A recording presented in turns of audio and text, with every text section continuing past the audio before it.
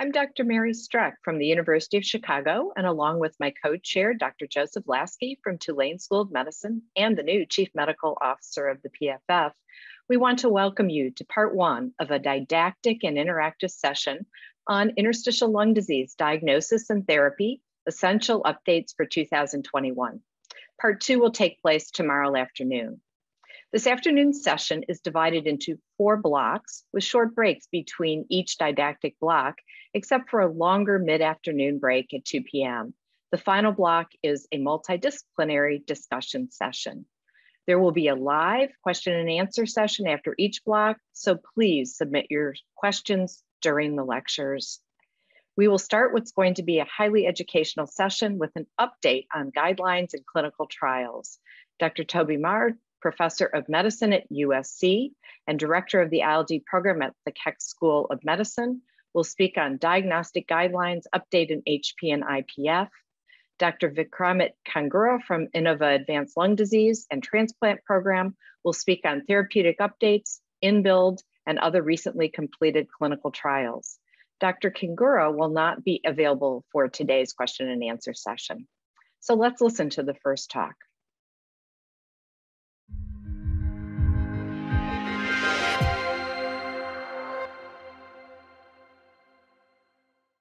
Hi, everyone. My name is Toby Maher. I'm Director of Interstitial Lung Disease at the University of Southern California in Los Angeles. Uh, I'm going to be talking to you today about diagnostic guidelines and giving an update on hypersensitivity pneumonitis and idiopathic pulmonary fibrosis. These are my declarations of interest. Um, so the, the history of defining different forms of fibrosing lung disease goes back to the turn of the last or turn of this century. Um, prior to the year 2000, we didn't have any clinical guidelines. And instead, we tended to lump together lots of different fibrotic lung diseases. But over the course of the 1980s and 1990s, it became increasingly clear that there were different histological lesions making up pulmonary fibrosis. And with the advent of CT scanning, it became clear that these different histological lesions had different radiographic appearances, and importantly, had different survivals. And really, that was what underpinned the development of clinical guidelines for defining uh, the different interstitial lung diseases. And I'm not going to go into this in detail. I'm sure all of you have seen this schematic before now, but this is really our current classification scheme for the different forms of interstitial lung disease. Uh, another important development of the guidelines, just to touch on briefly, was the concept of the multidisciplinary team meeting, which was to say that it's been accepted that the gold standard way of diagnosing ILD is through the integration of clinical history, uh, radiological appearance, uh, and pathological appearance where necessary, and that the best way to achieve this integration is to bring together clinicians, radiologists, and pathologists uh, into a single diagnostic meeting. Now, I've been asked to touch on idiopathic pulmonary fibrosis, and all of you will recognize this as the most rapidly progressive of the fibrosing lung diseases that we see in clinical practice. After that 2001 set of guidelines, we've seen a 2011 update, uh, and more recently a 2018 update, uh, and we can anticipate an update on this one in the near future. We've also seen guidance from other groups, and the Fleischner Society is, is a radiological society that focuses on producing radiological guidelines, and they too uh, have produced guidance on how to interpret uh, radiological appearances in patients with suspected idiopathic pulmonary fibrosis. But if we take the current guideline criteria, we recognize that to diagnose IPF uh, requires the exclusion of interstitial lung diseases of known cause. Uh, it then requires the presence on CT scan uh, of the pattern associated with usual interstitial pneumonia. And where it's not possible to make diagnosis from clinical history and CT alone, we then integrate uh, pathological findings as well.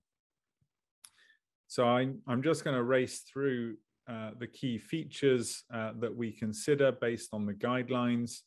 So when it comes to the radiology, we've divided it up into those appearances that are definitely associated with UIP, those that are probably associated, those that are indeterminate, and then on the far uh, right-hand side there, appearances that suggest an alternative diagnosis.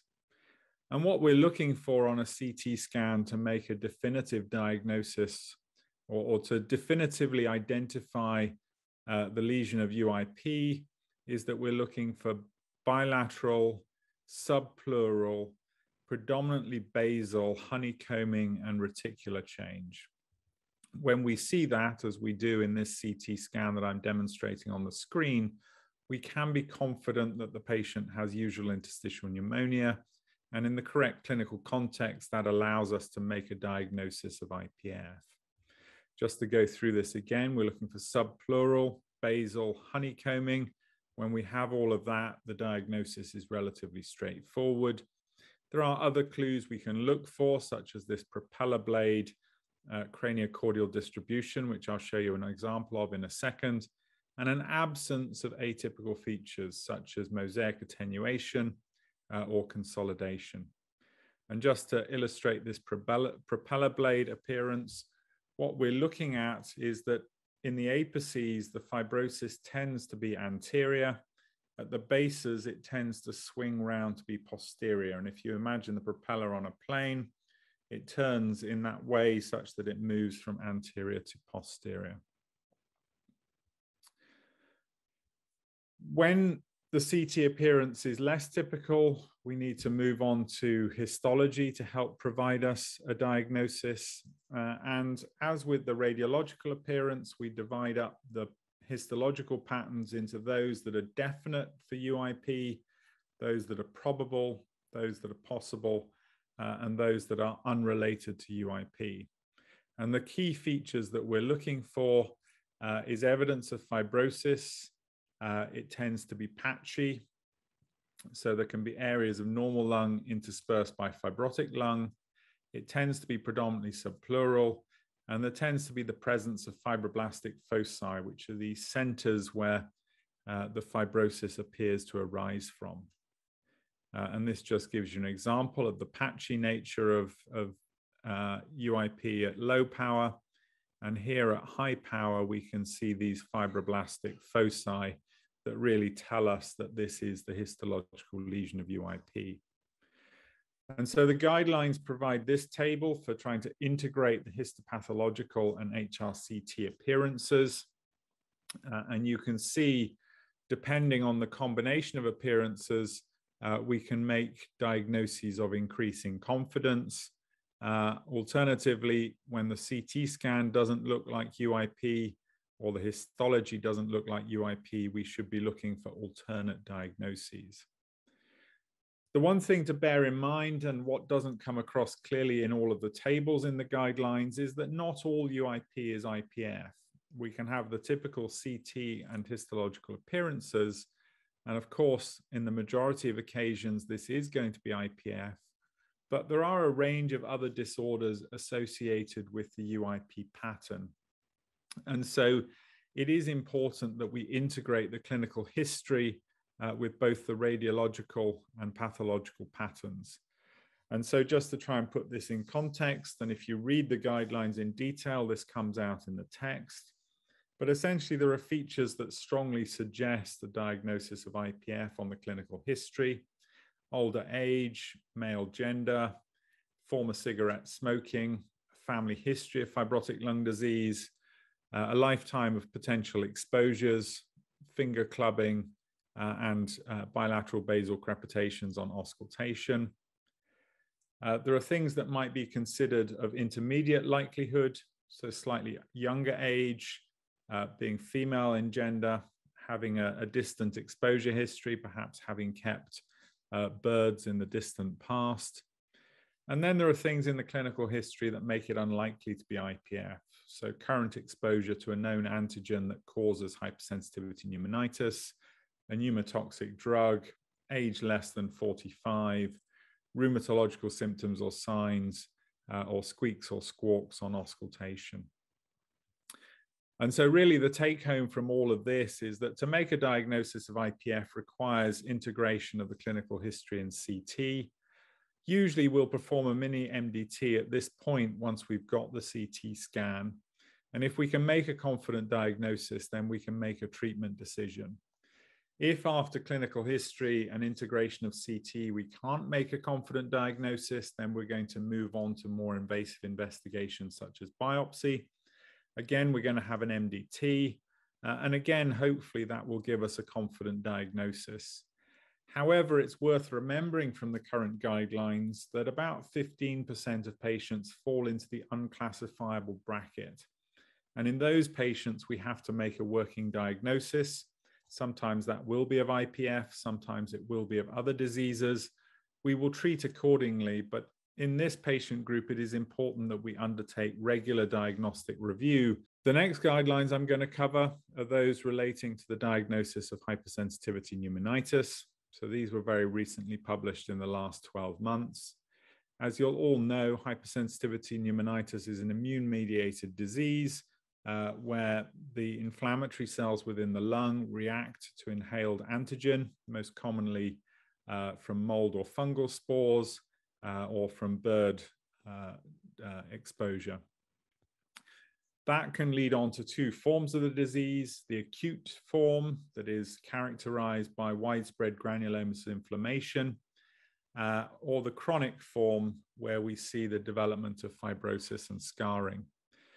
It's worth saying that the guidelines have moved away from the old language of acute, subacute, and chronic uh, and have moved to the language of non-fibrotic and fibrotic hypersensitivity pneumonitis. And that really was because the subacute group caused a lot of confusion uh, as to the nature of the disease and optimal therapy. How should we diagnose suspected hypersensitivity pneumonitis? Well, of course, history is important. We're looking for an active exposure. Uh, and there are a number of good review articles that cover potential exposures in great detail. Uh, there are a number of these that can be both domestic uh, or occupational, uh, and it is important that one explores these in detail in the clinical history, particularly where one suspects hypersensitivity pneumonitis. It's worth saying, however, that even after a detailed history, approximately two thirds of patients will lack a clear cut exposure. Then there's the clinical examination, where often we will hear squawks on auscultation. This reflects really the small airway obstruction that occurs with the inflam inflammatory bronchiolitis uh, that we tend to see occurring in hypersensitivity pneumonitis. Next comes the imaging, and we're looking for a number of things. In acute disease, we're looking for central lobular nodules, often associated with ground glass attenuation and evidence of gas trapping, so-called mosaic attenuation. In the fibrotic form, we're looking for evidence of fibrosis, so traction bronchiectasis, reticulation, loss of volume. But at the same time, we're also looking at the pattern of distribution, so we expect it to be bronchocentric. And we often see this small airway involvement giving rise to mosaic attenuation. So just to reiterate that, we're looking for mosaic attenuation, which is lobules of decreased attenuation. We're looking for a pattern of distribution of fibrosis that's diff different to IPF. So we're looking particularly for bronchocentric fibrosis, more often occurring in the upper lobes. Uh, and we're also looking for coexistent changes that, that we can sometimes see in hypersensitivity pneumonitis, such as central lobular nodules. So here with the arrows, we can see the lobules of decreased attenuation. Uh, in this one, we can see that the fibrosis is following the airway. So this is airway-centered fibrosis. And in cross-section, we can see that the fibrosis here clusters around the airways. Uh, however, we also recognize that in chronic fibrotic disease, there is an overlap in appearance with UIP and IPF. We can sometimes see um, UIP-like changes in hypersensitivity pneumonitis. And you can see that reflected on this uh, section in the lower lobes here, where we now have subpleural honeycomb change. So just going back to what we're looking for, um, other things that we might look for are serum precipitins on blood testing. Uh, we might look for the positivity of certain specific circulating antibodies. We can also think about doing bronchoscopy, where we're looking for evidence of lymphocytic inflammation. Uh, and the reason we do that is twofold. Lymphocytic uh, alveolitis helps support a diagnosis of hypersensitivity pneumonitis, but importantly, it also seems to identify patients who are most likely to respond to therapy. And then uh, after we've done that, um, if we still haven't made a diagnosis, we're going to consider doing biopsy. And in biopsy, what we're looking for are airway-centered granulomatous inflammation. We're also looking for chronic cellular bronchiolitis, and that tends to be uh, lymphocytic and sometimes eosinophilic in nature. And also within the alveoli, uh, we will see a chronic inflammatory cell infiltrate. And this here just uh, gives an overall impression of a patient with fibrotic hypersensitivity pneumonitis. We can see a patchy UIP-like appearance. However, at higher power, we can see an inflammatory cell infiltrate. We can see that fibrosis is frequently centered around airways. Uh, and when we go in at high power magnification, we can see these loosely formed uh, granulomata and often there are hyaline membranes that go with these. And so this table is taken from the guidelines, and this just speaks to how we try and integrate the clinical history with the CT scan, and then with other features uh, in the assessment of our pa patients, including the, the BAL lymphocytosis uh, and the histological appearances. And again, this helps us uh, develop a level of confidence for the diagnosis in patients with suspected hypersensitivity pneumonitis. Uh, so that really is a whistle-stop tour of the current guidance on IPF and chronic hypersensitivity pneumonitis. Of course, much more detail is available uh, in the guideline documents themselves, but hopefully this has given you a flavor of how we now approach uh, the diagnostic assessment of both IPF and hypersensitivity pneumonitis. So thank you very much for listening to me.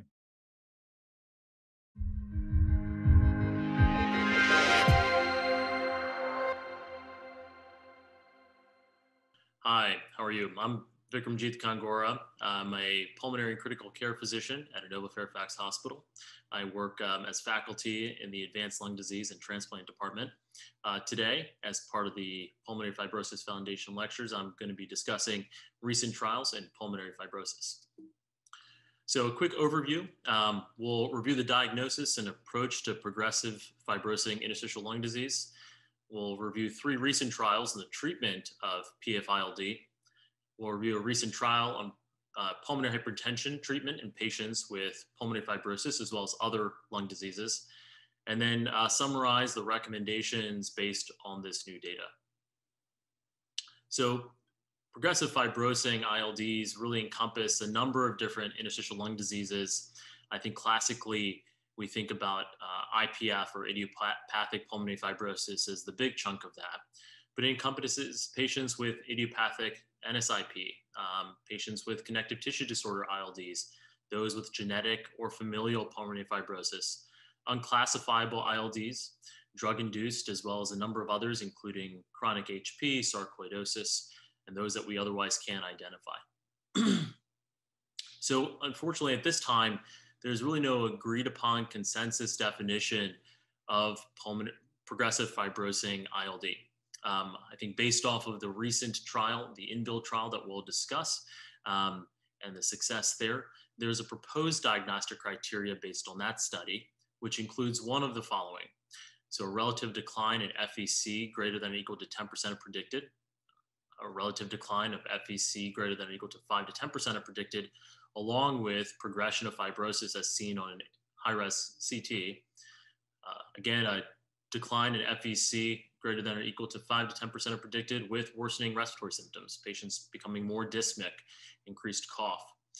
And then a combination of res worsening respiratory symptoms as well as increased fibrotic progression on HRCT. So meeting one of these criteria over the course of the last 24 months is one of the proposed diagnostic criteria for PF-ILD, but as I mentioned, no current agreed upon definition. So here's an example. Um, on the left side of your screen, the uh, top left and top uh, bottom left um, images, That's a patient with rheumatoid arthritis ILD who's placed on immunosuppression.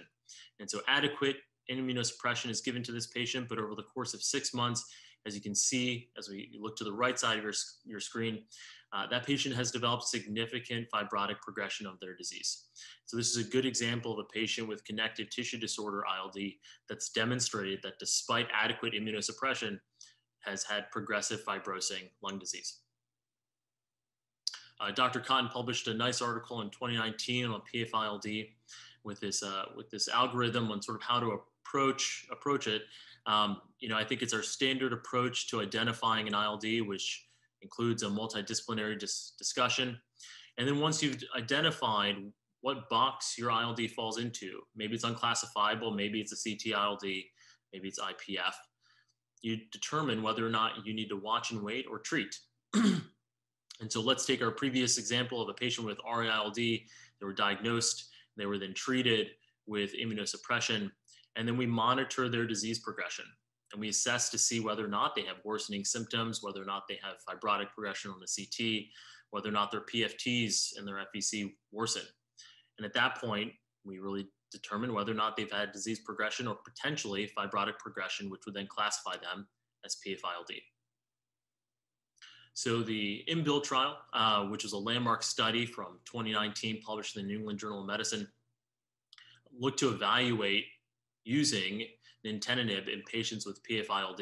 We know previously that nintedanib um, works for patients with IPF, but didn't have any good randomized control data on whether or not it worked for PF-ILD uh, otherwise. So uh, they did a 52 week study with um, over 300 patients in the treatment and the placebo group um, and evaluated the FVC decline over that time. And as, I, as you can see on the, on the graph there, um, there was a pretty impressive uh, difference in patients who were treated with nintedanib versus those that weren't.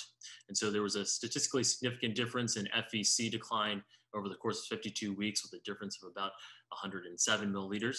Uh, no difference in quality of life or survival was seen. Notably, it was effective in both patients with UIP-like disease and those with non-UIP-like fibrotic pattern on their CT. Diarrhea, by far the most common side effect, happening in 60 to 70% of patients, uh, but also happening in about 24% of placebo. Pirfenidone, which is our other medication approved for the treatment of IPF, was also studied in this context uh, in the RELIEF study, uh, which was published earlier this year. It was also a multi-center double-blinded RCT, uh, which evaluated patients with non-IPF fibrotic lung disease, included CTD-ILD, fibrotic idiopathic NSIP, fibrotic HP, as well as asbestosis. Unfortunately, due to slow recruitment, the study was uh, terminated prematurely. So they only had 127 patients in this study. Um, you know, it did reduce the rate of FVC decline over 48 weeks when they used, uh, when they did the statistical analysis on the imputed data that they did have available. And uh, that difference was about 3.5% of FVC predicted. There was no difference seen in DLCO, six minute walk distance, or quality of life. Again, unfortunately, not a robust study um, as the INBUILD was. Um, I think a lot of us theoretically would presume that pirfenidone should also work in these patients, but we just don't have large good trial data to support that. and then uh, previously in 2020, pirfenidone was also evaluated for unclassifiable PF-ILD. This is also a double-blind RCT, uh, a larger study with 253 patients. The primary endpoint was also a mean predicted change in FVC over the course of 24 weeks. Uh, interestingly, they used home spirometry for this study. And so uh, you know, when they did the pre-specified analysis for, for the primary endpoint, um, they really couldn't perform it due to high variability of the home spirometry readings. Um, so I think the real downfall here was that, you know, they they depended on home spirometry, um, which which led to unreliable readings, and thus the the study didn't hit its primary endpoint. Um, as part of their secondary endpoints, they did look at um, in-office spirometry for patients that had that data, and it actually, in patients who had in-office spirometry, there was a statistically significant difference in the rate of FVC decline over 24 weeks. As you can see, about 95 milliliters there. So I think, uh, you know, if we can do get a well-designed pirfenidone trial uh, that completes all the way through, we may actually see a signal there for pirfenidone, the use of either unclassifiable PF-ILD or PF-ILD um, otherwise.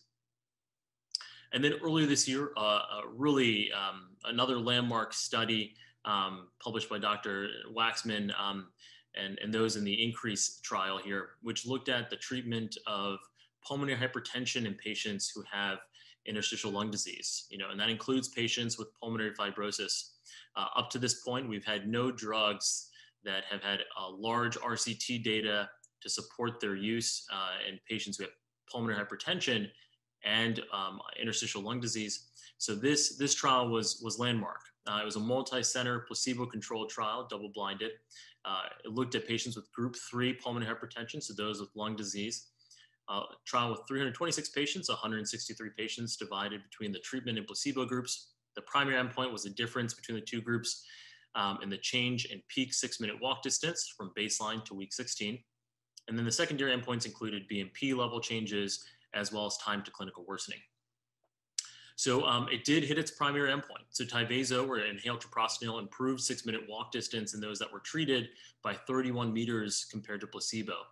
Um, and the secondary endpoints were also significant. So there was a 42% reduction in BNP in those treated with inhaled treprostinil. There was a 39% reduction in clinical worsening events in those treated with uh, inhaled treprostinil.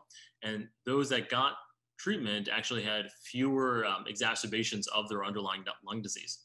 Uh, commonly, we saw patients experience cough, headache, dyspnea, dizziness. Some had nausea, fatigue, and diarrhea, although um, less frequent than the others.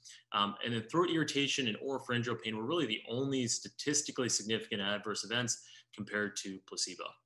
So in summary, um, nintedanib, or otherwise known as OFEV, really should be started in patients with evidence of PF-ILD.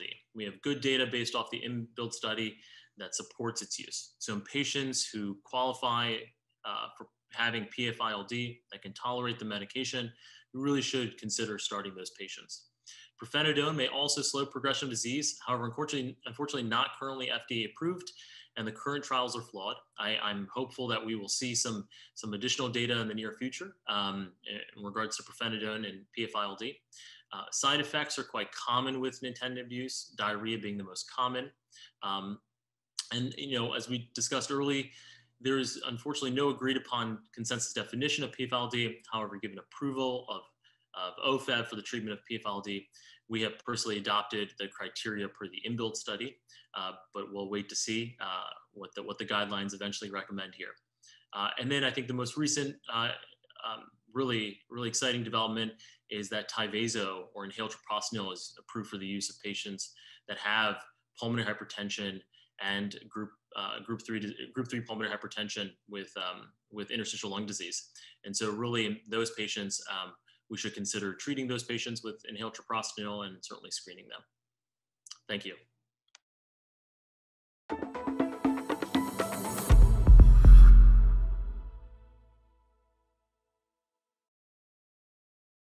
I want to thank both of our speakers for their outstanding and really informative presentations.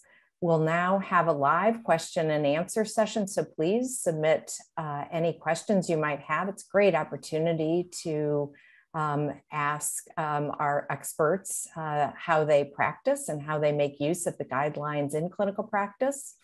Um, while we're waiting for questions to uh, come in, I'm going to ask uh, Dr. Maher if he um, can tell us how he makes use of the clinical practice guidelines. And in fact, if you don't have a multidisciplinary uh, meeting, can you still use the guidelines and how might you do so?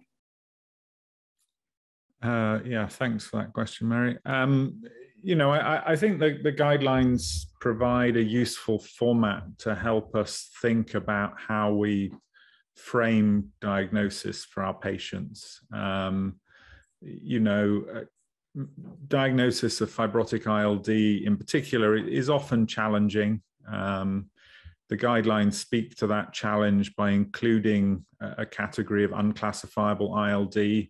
So I think we, we recognize up front that they're imperfect, but they do provide a framework for helping us um, both formulate a, a, sort of assessment of how we think patients' disease is going to behave over time, so we can make prognostic inferences from the different diagnostic categories.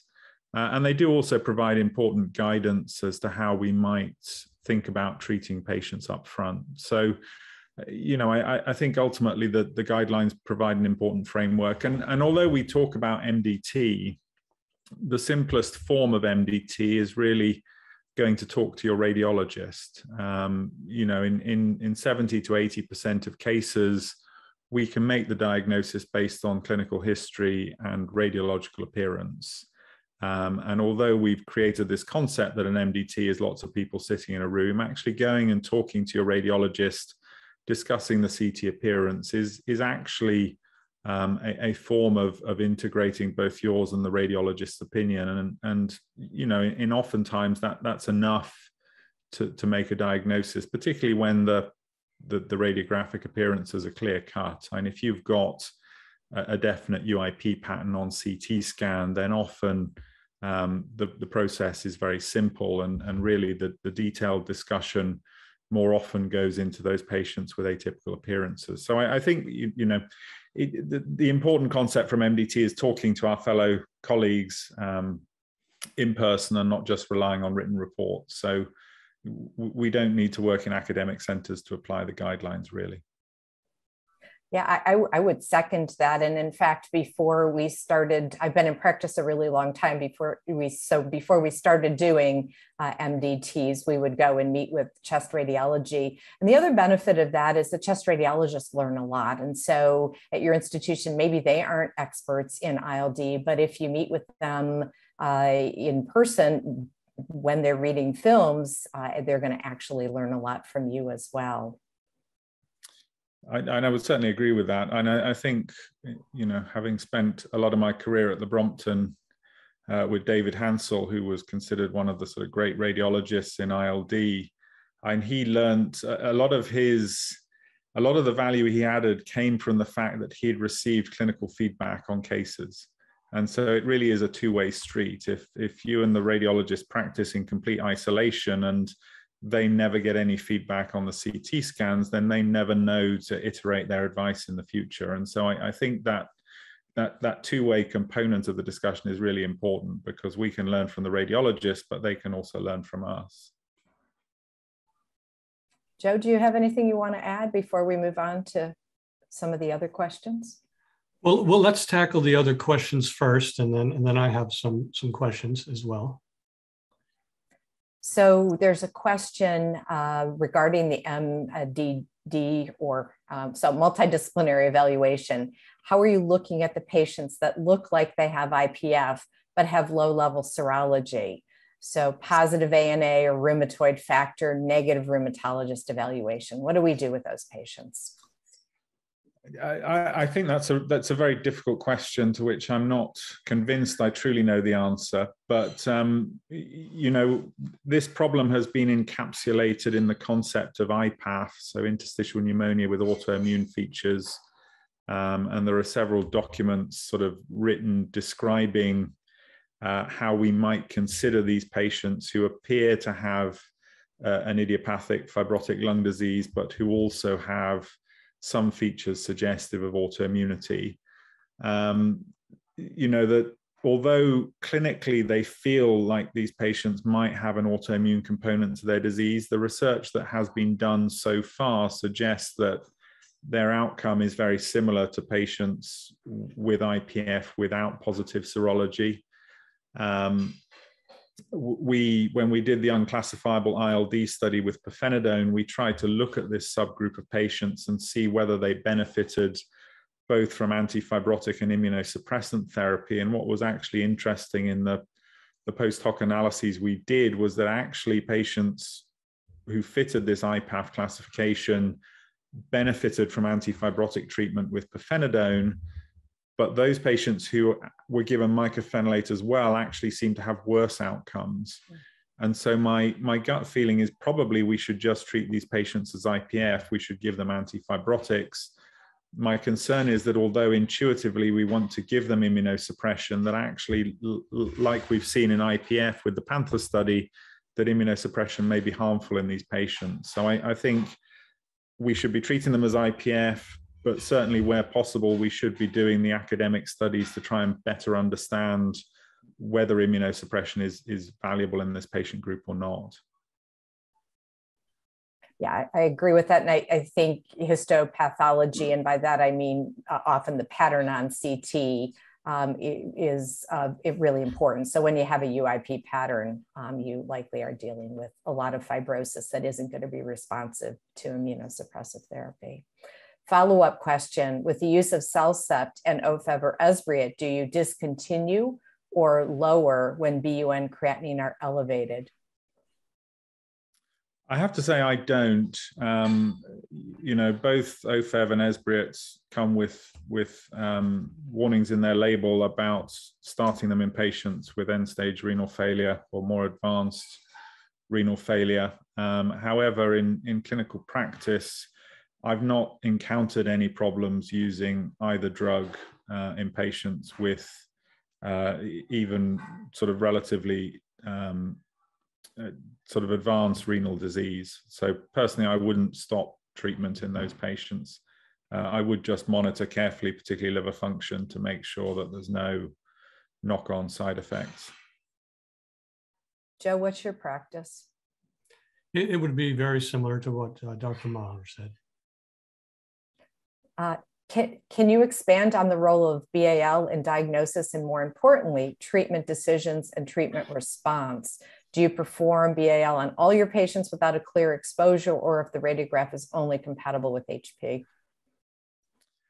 Um, so in general, I only perform BAL if um, hypersensitivity pneumonitis or well, so assuming we're talking about patients with fibrotic ILD, we'll sort of forget things like sarcoid and uh, other rarer ILDs. But if we've got a patient with fibrotic ILD, I'll only do the the lavage if if hypersensitivity pneumonitis falls into the differential diagnosis, either because of an exposure history uh, or because there are radio, radiological features to suggest that HP might be a diagnosis. Um, and then when I do the the uh, the BAL, what I'm looking for is a lymphocytosis, um, both to support a diagnosis of HP, but also to help guide treatment.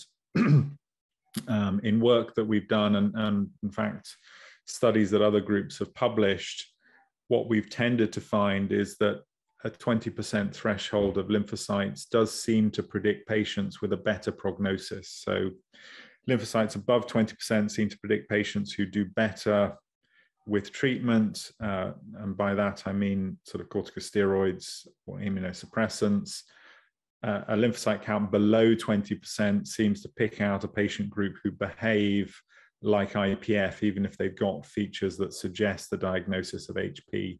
So I, I, I sort of use that threshold to both guide making a diagnosis, but also uh, to drive treatment decisions. And can you reiterate which patients would you be doing the BAL in, and then when would you add transbronchial cryobiopsy? Um, so it, it, the the patients I would choose is anyone with CT features that suggest HP. So if there's mosaic attenuation, you know, if there's an upper lobe predominance, th- th- those sort of things, that would, or if there's a sense of bronchocentricity, that would push me to do it. Or even if they had a sort of definite or probable UIP appearance, if they had an exposure history, then I would also do the bronchoscopy in those patients. Um, the, the cryobiopsy is certainly something that we've been increasingly doing.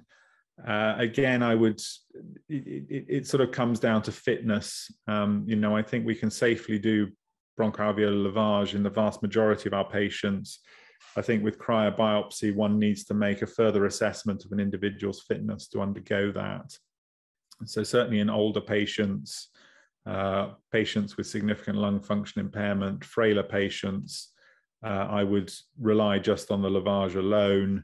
Younger patients, those with earlier disease and well preserved lung function, uh, I would uh, obtain a cryobiopsy at the same time and, and sort of integrate the information from the two modalities.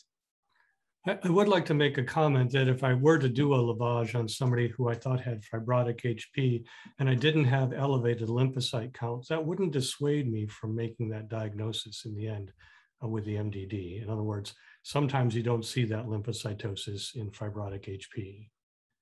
Would it, I, I, sorry. Would it change how you treat though? Would you be less likely to give prednisone or immunosuppression in that case? Yeah, I would agree with the comments that Dr. Maher said earlier. If the lymphocytes were high, then you might be more likely to do so with the immunosuppressants. Yeah, so I would and I would agree with you, Joe. I, I, think a lymphocyte count less than 20 doesn't preclude the diagnosis, but it certainly makes me much more pessimistic about the benefits of treatment with corticosteroids and CellCept or other immunosuppressants. Okay, we have uh, one interesting question, only about a minute and a half. Um, I'll hopefully let each of you have a shot at. Given the Tyvaso data, are you regularly performing annual screening echo now in ILD patients? So how has that changed your practice? Um, so my short answer is yes. Uh, so if, and if we go back a decade when we had all the trials with the endothelin antagonists, I used to do annual echoes on my patients because I thought it was valuable to identify pH. Then when we had all the negative trials, I stopped doing it because I didn't really think it added value, and I would only do echo if if patients had symptoms suggestive of pH, and I wanted to define it better. But I think now that we have a treatment option for our patients where, you know, we see improvements in quality of life and walk distance, I, I think identifying pH is now important again. So I've certainly moved back to actively screening for pH, certainly in patients who've got uh, evidence of exertional desaturation, patients who've got a DLCO below 40%, patients who've got an elevated BNP. Uh, I will actively look for pH now.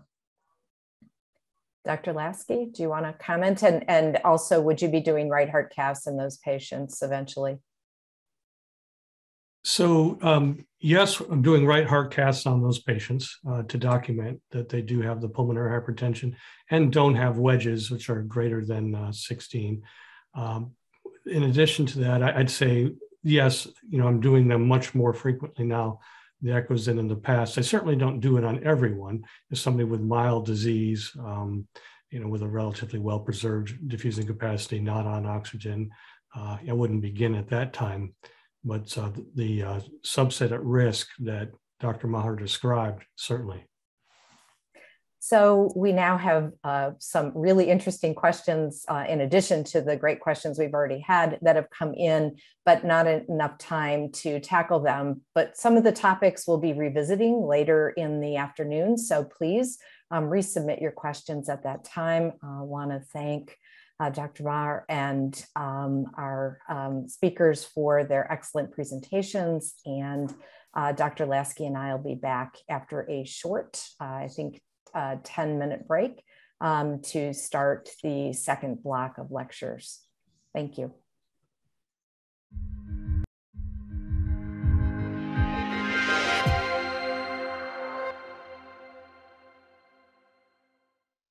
Good afternoon. My name is Deborah Gleason. I am a nurse practitioner in the Interstitial Lung Disease Clinic at the University of Kentucky in Lexington, Kentucky. Today, I'd like to speak to you about integrating palliative care in your clinical practice and also a little bit about symptom management in your interstitial lung disease patients.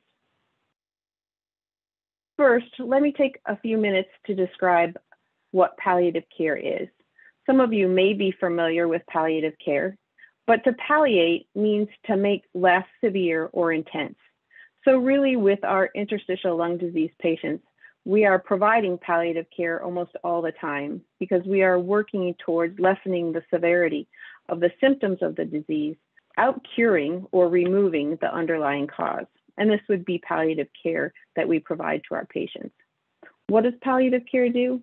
It improves the quality of our patients' lives by managing those symptoms and allowing them to have the highest degree of functioning as possible. It also manages emotional symptoms along with those physical symptoms. Support, giving caregivers the necessary tools to take care of these patients.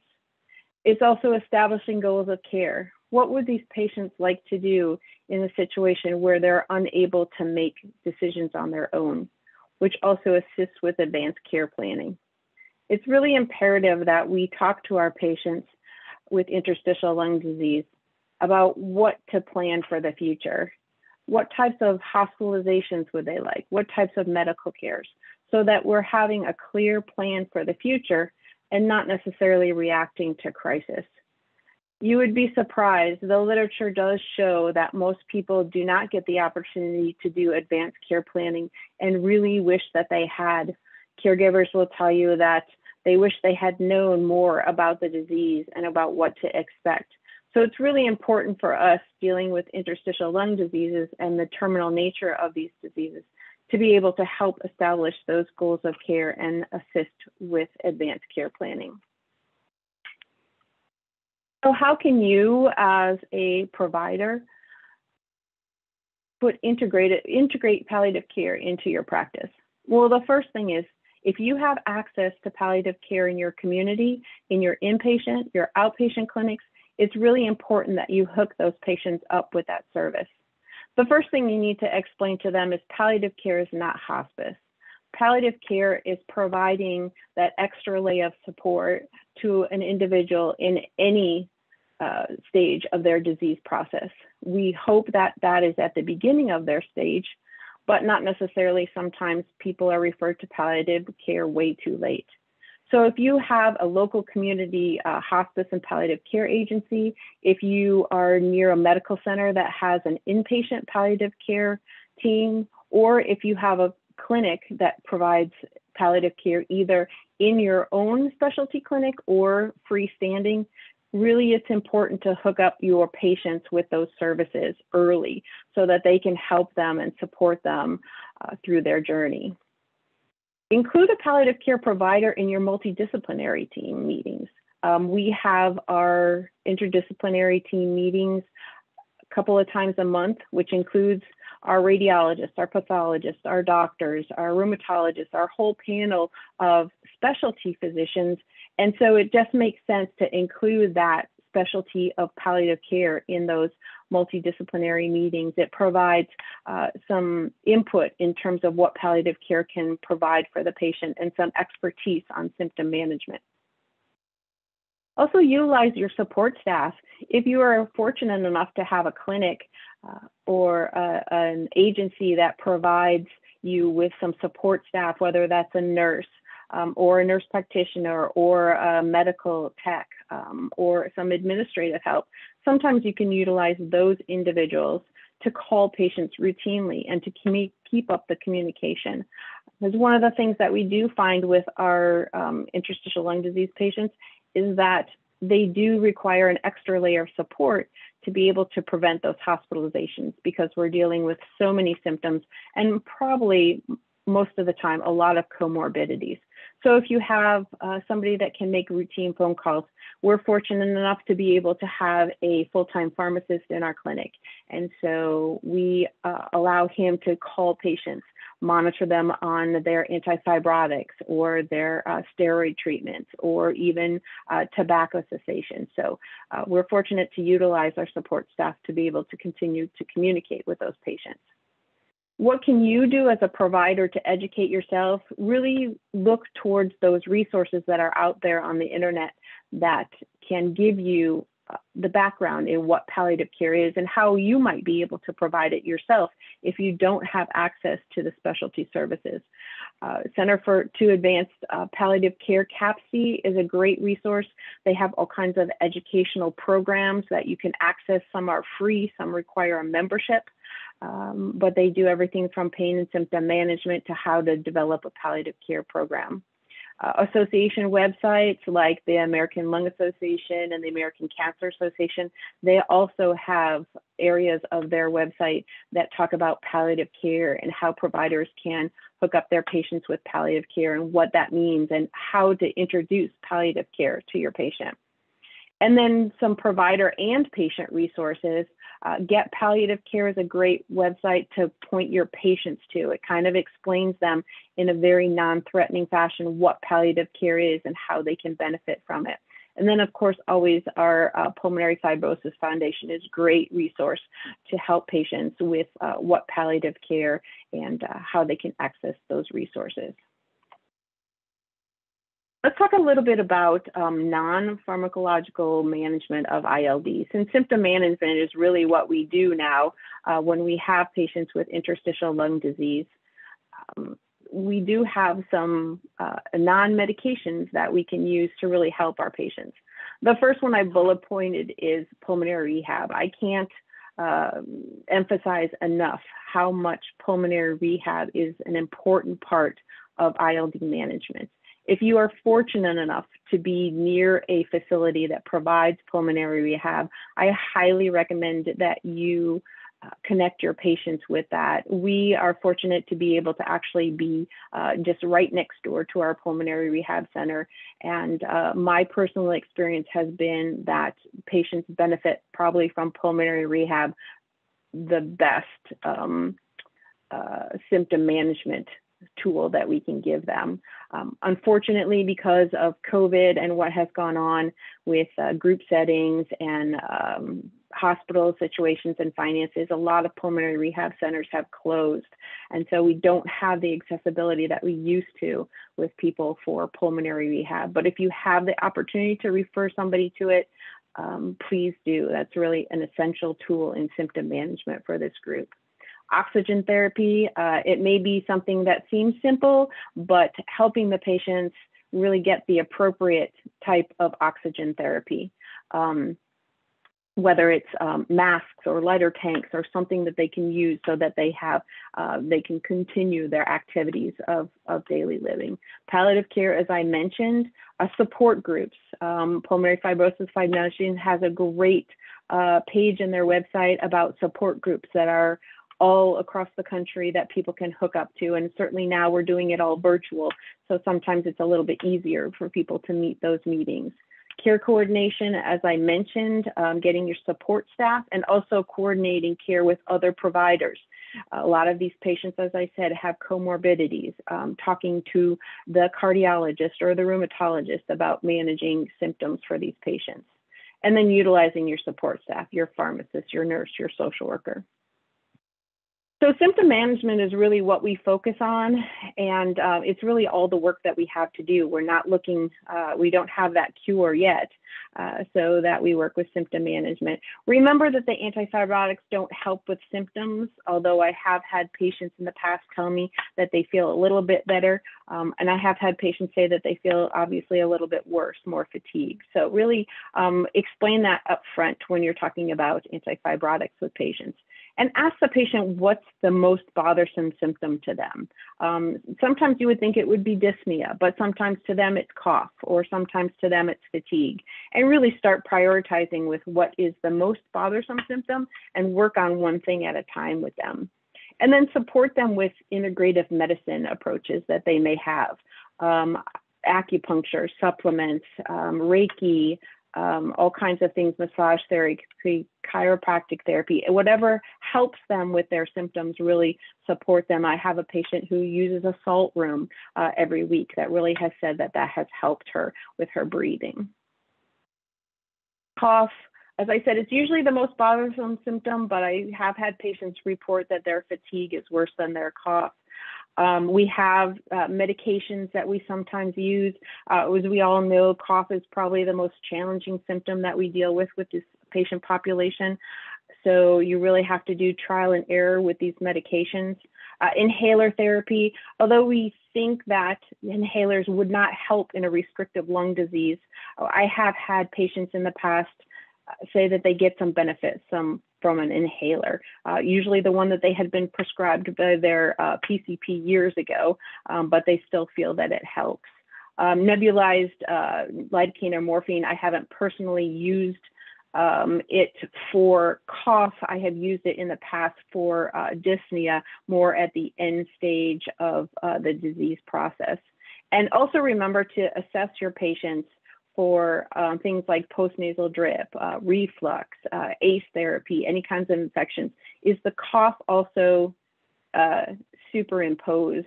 Um, is there something that is causing the cough to be worse? dyspnea is another uh, symptom that we deal with obviously all the time along with cough um, that is usually most bothersome to patients really the oxygen therapy you would think that it would be a small thing but making sure that the patient gets the right type of oxygen therapy. Pursed lip breathing they teach that in pulmonary rehab. If you don't have that there's a lot of uh, resources on the internet how to teach patients to that.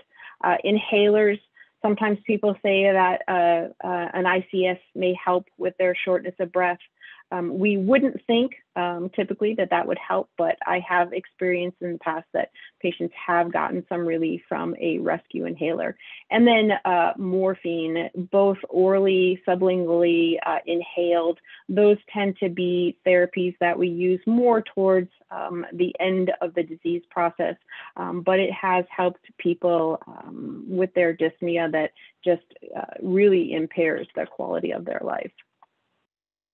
And then fatigue, poor appetite, depression, and insomnia kind of all fit together. And uh, I think this is probably another big category that we struggle with in finding what we can do. Um, but really be let them be aware of what their activity tolerance is. Um, I always tell my patients that they have a dollar to spend every day, and if they spend a dollar fifty, they're going to have to pay for it for the next day. So encourage them that if they have activities to attend, that they're really um, resting up for those activities so that they have the most energy for those special things, graduations, birthdays. Uh, importance of good sleep hygiene. So that goes with uh, do they have OSA? Are they on their CPAP? Is it appropriate? Um, do they need follow up? Small meals and snacks more for the poor appetite. Don't expect the patient to sit down and eat uh, three meals a day. Uh, encourage them high protein snacks, uh, supplements, Things like uh, Boost and Ensure are really a turnoff for some people. Um, other things can be found out there.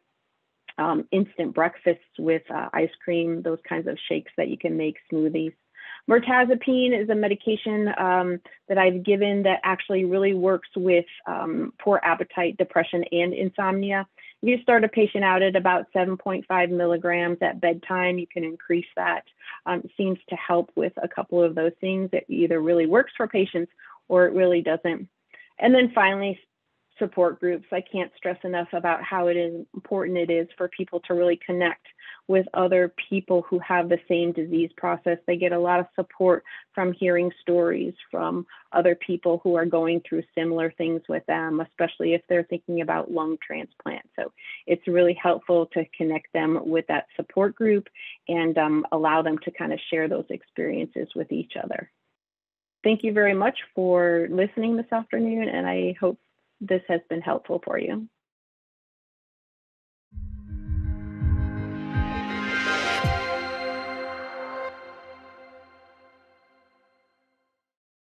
Hi, my name is Justin Oldham, and I'm going to be talking to you today about reconciling guidelines and clinical trials, how to integrate new information into clinical practice. Here are my disclosures. So the objectives of the talk are to provide an overview of clinical trial design and phases, highlight unanswered questions raised by data published after publication of uh, the diagnostic and treatment guidelines, and then discuss integration of clinical trial data into clinical practice. So starting off with clinical trial design and phases. When we think about clinical trial phases, there are four phases that we assess. Uh, after a drug is approved in humans, we conduct a phase one trial, which is generally a pretty small study, can be done in healthy individuals uh, to assess preliminary safety. Often in a rare disease like pulmonary fibrosis, it's done in a small number of patients with IPF or other forms of pulmonary fibrosis. Uh, here's a nice recent phase one published by the Vanderbilt group looking at valganciclovir for IPF. Um, as I said, small number of patients here, uh, roughly about 30. Um, and the primary table that is presented are a bunch of adverse events, just assessing whether the drug is safer than uh, placebo. Um, the conclusions of a phase one trial are first and foremost safety and tolerance. Um, and of course, we all want an early look at whether there may be some efficacy. So this is often presented as well. Uh, and FVC change over time being the primary endpoint that's generally employed in uh, pulmonary fibrosis clinical trials. Here we see that there is a suggestion that perhaps those receiving valganciclovir in addition to standard of care, may have less loss of vital capacity over time compared to placebo. Um, but again, this is very preliminary and, and just sort of gives justification for continuing on to, to phase two. Uh, so what is phase two? So still assessing safety, uh, sometimes assessing dosing, uh, but more, most importantly, larger number of patients, uh, starting to get more of a sense as to whether there might be um, efficacy, although the design is not gauged towards efficacy. Um, so here's a phase two trial that was published recently looking at inhaled carbon monoxide in IPF. Um, again, not a whole lot of patients, about 60 here. Um, primary table presented again is safety, uh, just looking at adverse events between those who received the intervention versus those who didn't. Uh, and again, an early look at efficacy. And as opposed to our prior longitudinal plot, where we're really not seeing much difference between these two groups with regard to change in vital capacity over time. Um, and so the conclusion that's drawn from a phase two trial is first and foremost whether the drug is safe and well tolerated. Um, and you start to comment on efficacy as well at this point, the rubber hits the road for clinical trialists, and you have to decide based on the phase two data whether the safety profile and the early suggestion of efficacy uh, is worthy of, of moving to phase three. So, phase three trial uh, is very much uh, still attuned to safety, but also now is powered to look at efficacy and assess whether a drug is actually efficacious. Um, as you can see here, there's a whole lot more patients. Um, in the world of pulmonary fibrosis, which again is a rare disease, we're, we're talking usually on the order of hundreds rather than thousands. Um, and here's you know, one of the more um, important phase threes that have been done, looking at pirfenidone for patients with IPF. Um, as opposed to our phase one and twos, we're now seeing that roughly 500 patients were enrolled in this trial. And the take home message is, is very much focused on uh, efficacy. And as you can see here, Compared to placebo, those who received pirfenidone had lot less loss of lung function over time and had better progression-free survival. So based on phase three data, the FDA will then the, uh, review the drug. And if the drug is both safe and efficacious, will uh, approve the drug. And then phase four studies are done uh, looking at post-approval surveillance to see if there's any new safety signals that come about. Um, IPF has had a long history, uh, roughly 40 years, probably now, 35 years of clinical trials, uh, most of which unfortunately have not panned out. Uh, the two most successful here are pirfenidone and nintedanib, published in 2014, and then a whole lot of other studies, as you can see here, that have not worked out. Uh, most followed a, a trend shown on the panel here on the left, which was a trial of acetylcysteine compared to placebo for patients with IPF. As you can see here, these two lines are essentially overlying uh, when looking at change in vital capacity over time. So really no efficacy. And unfortunately, there were a few trials that were uh, done that uh, took drugs that were thought to be previously potentially efficacious and turned out to be harmful in patients with IPF. So in this case, prednisone, azathioprine, and N-acetylcysteine, uh, when received in combination, had an increased risk of death or hospitalization when compared to placebo both of these just underscore the importance of, of conducting clinical trials in, in any disease state, because something we thought anecdotally or based on smaller trials to be efficacious could actually turn out to be harmful when powered appropriately.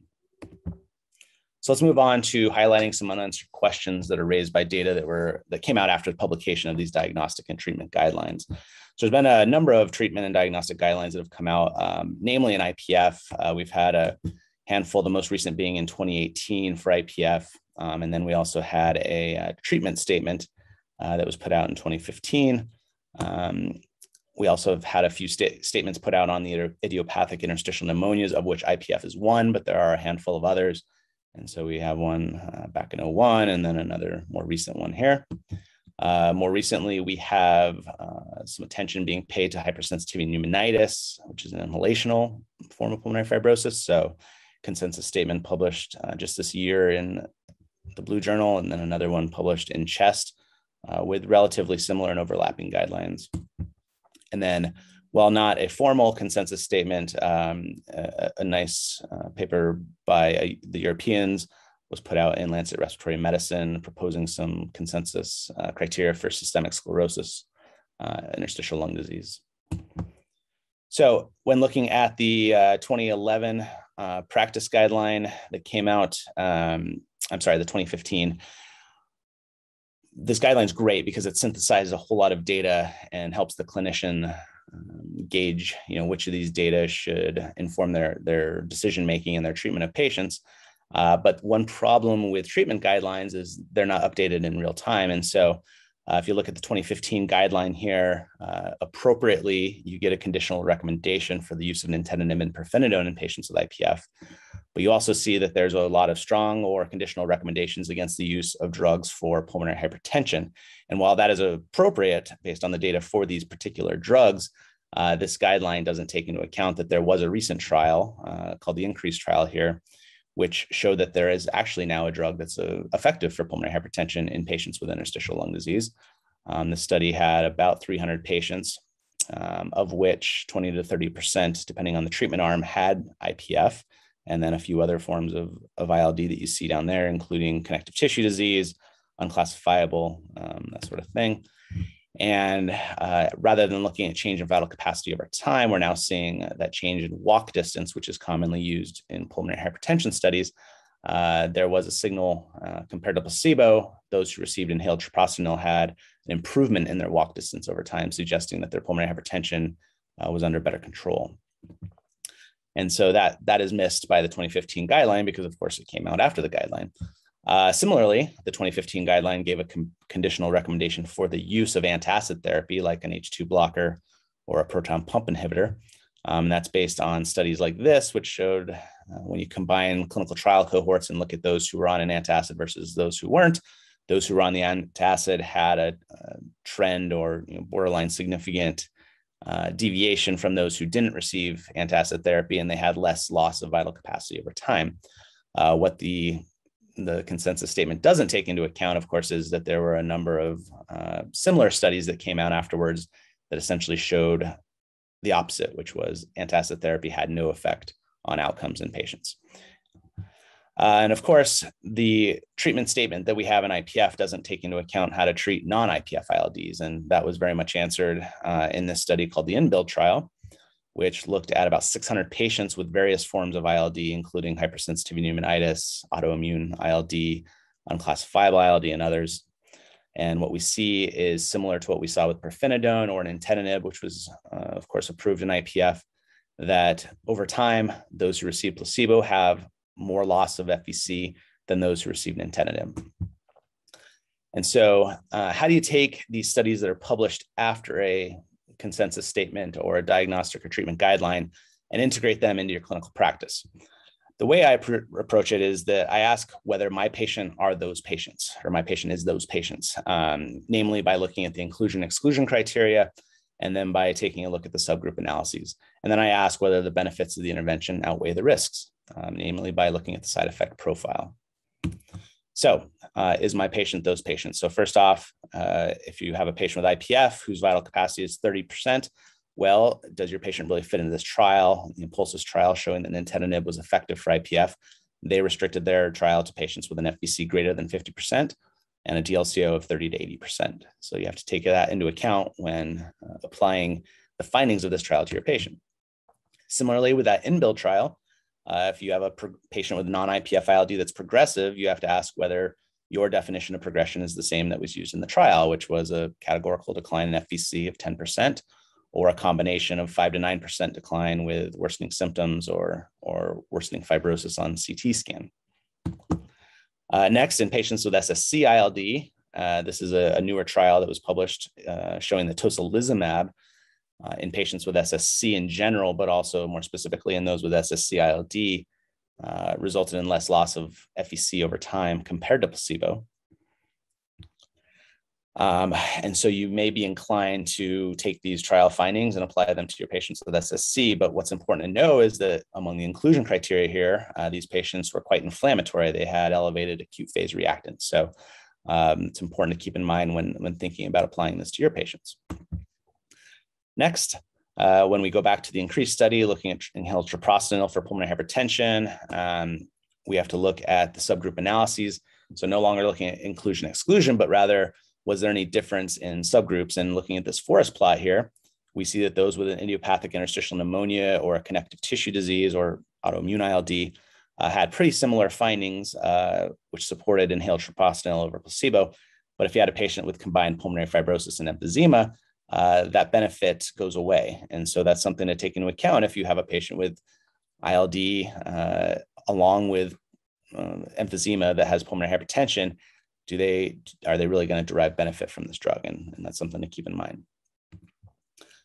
Um, and then finally, uh, when talking about is my patient those patients, uh, the INBUILD trial here said that you had to have progression based on the various criteria I, I just mentioned, uh, despite standard treatment. And so, of course, in patients with autoimmune ILD or hypersensitivity pneumonitis, uh, immunosuppressant therapy is quite commonly used. And so, as you see here, patients who were treated with azathioprine, uh, or rather, patients were not allowed to be treated with azathioprine, mycophenolate, rituximab, cyclophosphamide, or even steroids greater than 20 milligrams during this trial. And so, you have to ask yourself whether, uh, for instance, a patient with autoimmune ILD who's experienced progression, have they received standard treatment as, as we define it? Um, granted, we don't have great consensus on all autoimmune ILDs, but uh, you know we do commonly use immunosuppressant therapy in those patients. So I would have a hard time putting a patient on an antifibrotic drug who hasn't received immunosuppression uh, if they have an inflammatory ILD like connective tissue disease.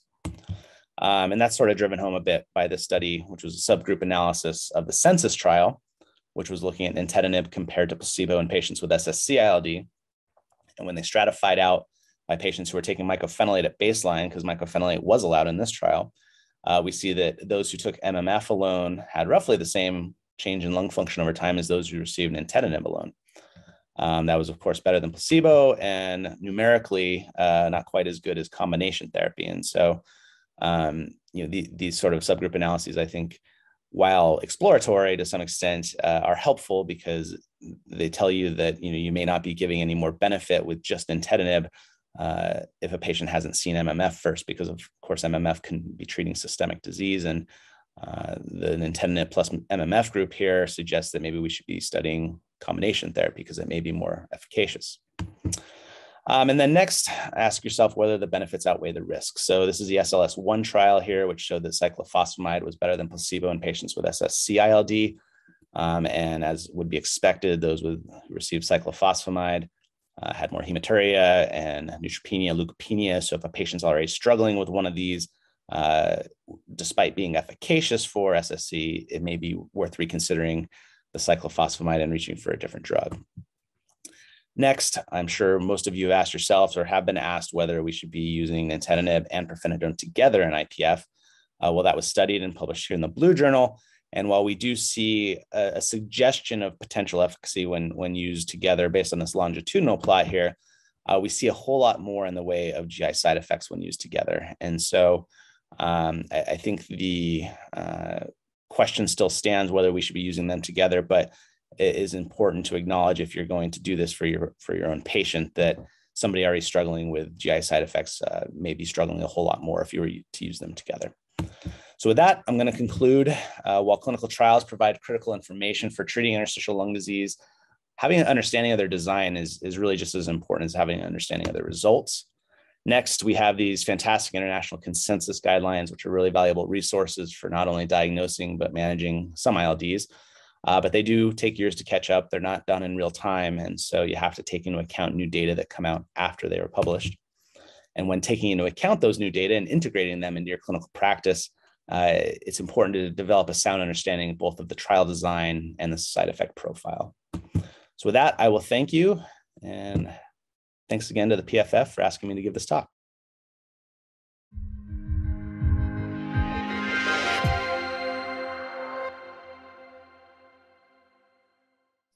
I'm Susan Jacobs. I'm a research nurse manager at Stanford in the pulmonary division and also in their interstitial lung disease program. I'm going to be talking today about integrating the American Thoracic Society oxygen clinical practice guidelines into the care of interstitial lung disease patients. I have no disclosures. So the rationale for the development of these guidelines uh, is based on a significant number, over 5 million people who suffer from chronic lung disease and about 1.5 million use oxygen. The current uh, long-term oxygen treatment prescription is based on studies that are, two studies that are over 30 years old. And there's some other guidelines uh, that were developed, but did not include some of the more recent studies, particularly the COPD LOTT study Um, and so we also find that there's minimal data on interstitial lung disease um, oxygen use. The rationale also included uh, activities by the American Thoracic Society. In uh, 2016, the nursing committee noticed the significant problems on, uh, based upon feedback from patients. We went on to develop a, uh, and publish a survey on patient reported uh, perceptions of their oxygen delivery and found numerous problems. And in 2018, uh, an oxygen workshop found a key recommendation that there was identified a lack of evidence-based guidelines as a major gap in care of patients. And therefore, uh, in 2018, we went on to um, uh, convene a panel and create the guidelines, which were recently published in the fall. And then just last month, a summary for clinicians was published in the Annals of ATS. The purpose was to provide a systematic review to guide healthcare providers and develop guidelines that could be applied to patient physiology, their lifestyle, and treatment preferences. We did not address patients who had acute hypoxemia or include uh, pulmonary hypertension issues. The methodology, we use a diverse and expert panel. We agreed upfront on the terminology and defined severe and moderate hypoxemia. The definitions varied study by study, which was a challenge during this process. We created six uh, PICO questions. That's uh, population, intervention, comparator, and outcome using a Delphi process, starting with, I think we had many questions and distilled it down using this process to uh, a final key six questions. A medical librarian reviewed literature, methodologists summarized the eligible studies uh, in terms of their quality for each question, and then the panel reviewed those final number of studies under each question um, in terms of design, bias, um, the methods used, et cetera, and ended up with the product of drafting final recommendations. These were three documents, a full manuscript in the Blue Journal, and uh, an executive summary, and then an online supplement. And of course, during this process, we realized that we were referring a lot to equipment and needed to include uh, basic terminology, definitions, and the three different types of equipment, compressed gas, liquid, and concentrated oxygen. So that was a part of the manuscript. So the summary of recommendations, uh, the first area we looked at was severe chronic resting hypoxemia in both COPD and ILD patients. We uh, included a definition of a PO2, or I'm sorry, saturation less than 88%, and the critical outcome was survival and the uh, recommendations was a strong recommendation for the use of oxygen with COPD patients with, based on moderate evidence and a strong recommendation for its use in ILD patients, but with low evidence. The first study uh, that was in the 1980s was the MRC trial, and you can see the use of oxygen was compared with no use of oxygen. And the survival benefit was significant uh, with um, comparing the patients who use oxygen a minimum of 15 hours a day to those patients who did not use oxygen. The second study was the NOTT trial, which compared using nighttime only oxygen with oxygen at least uh, 18 hours a day. And again, you can see the uh, mortality risk uh, was decreased by 55% over two years. So these two studies really meet the base for our recommendation for chronic resting hypoxemia. There were no studies that met our criteria for the use of uh, oxygen and chronic resting interstitial lung disease patients. So we incorporated the indirect evidence from those two studies that um, examined COPD patients. There was one ILD study, but it was uh, that, showed no difference in mortality, however, was unpublished, had a high risk of bias and very low quality evidence. None of the ILD studies looked at outcomes such as dyspnea, fatigue, quality of life, physical activity, or healthcare resource use. So the panel's judgment was that despite there were no ILD studies, that the substantial benefits seen with COPD patients would be extrapolated into our recommendation. And therefore the recommendation was strong, but based on very low evidence. Other societies uh, have addressed this issue. The IPF guidelines recommend long-term oxygen, the British Thoracic Society as well. Uh, the implementation includes assessing for pulmonary hypertension this, in this uh, population and educating patients on the harm of experiencing long-term uh, chronic hypoxemia. The research going forward is challenging in this type of a, a setting, so one would have to consider innovative approaches, including uh, clinical trials that were using quasi-experimental designs. The next area that the panel examined was only in COPD patients. This was moderate resting hypoxemia. We did not ask the question for ILD patients, but uh, did make um, a recommendation not to use oxygen in patients with saturations 89 to 93%. Again, we didn't look at that in ILD patients. The fifth question was with ambulatory oxygen, and this is actually a, a, a large area of um, interest. This uh, health-related quality of life was our um, primary outcome. And for COPD and the ILD populations, it was a conditional recommendation and both based on low quality evidence. Uh, conditional means that some patients may or may not choose to use the oxygen and, and as well clinicians may or may not depending on the um, severity of the, of the desaturation. Uh, no ILD studies reported the effects of ambulatory oxygen on fatigue, long-term exercise capacity. Many were short-term, looking at six-minute walk or exercise capacity in a lab setting. Um, also, physical activity in daily life at home was not examined and, or mortality. And as I mentioned, the quality of evidence was low, um, basically because of lack of studies. Uh, there were no parallel group randomized controlled trials, and only one study looked at evaluating the use of ambulatory oxygen at home. And in that study, actually, uh, two thirds of the patients chose to continue using that ambulatory oxygen because of the benefits they felt they experienced. So the panel judged that because of the potential for improved health related quality of life and findings that confirmed improvements in exercise capacity, um, we also had a high value on outside mobility, but there were no long term studies. Uh, the, the recommendations are balanced on the undesirable consequences, which include the safety, the risk of falls, fires, et cetera, um, patient and caregiver burden with the equipment, and inconsistencies in reported symptom relief. What other groups are saying, the IPF guidelines did not address ambulatory oxygen. The British, British Thoracic Society only prescribes it if there's evidence of benefit and ongoing adherence. And the thoracic societies of Australia and New Zealand actually only prescribe ambulatory oxygen if there is an objective improvement in breathlessness and exercise capacity demonstrated in a blinded exercise test on oxygen versus air. So this is a different approach than we use in the United States. Uh, and that was a, a different recommendation and, and, a different implementation of portable oxygen in those, in those groups. Um, one of the biggest concerns is ensuring that the devices meet the needs. We see that particularly in our population. The panel did place a high value on facilitating activity outside of the home.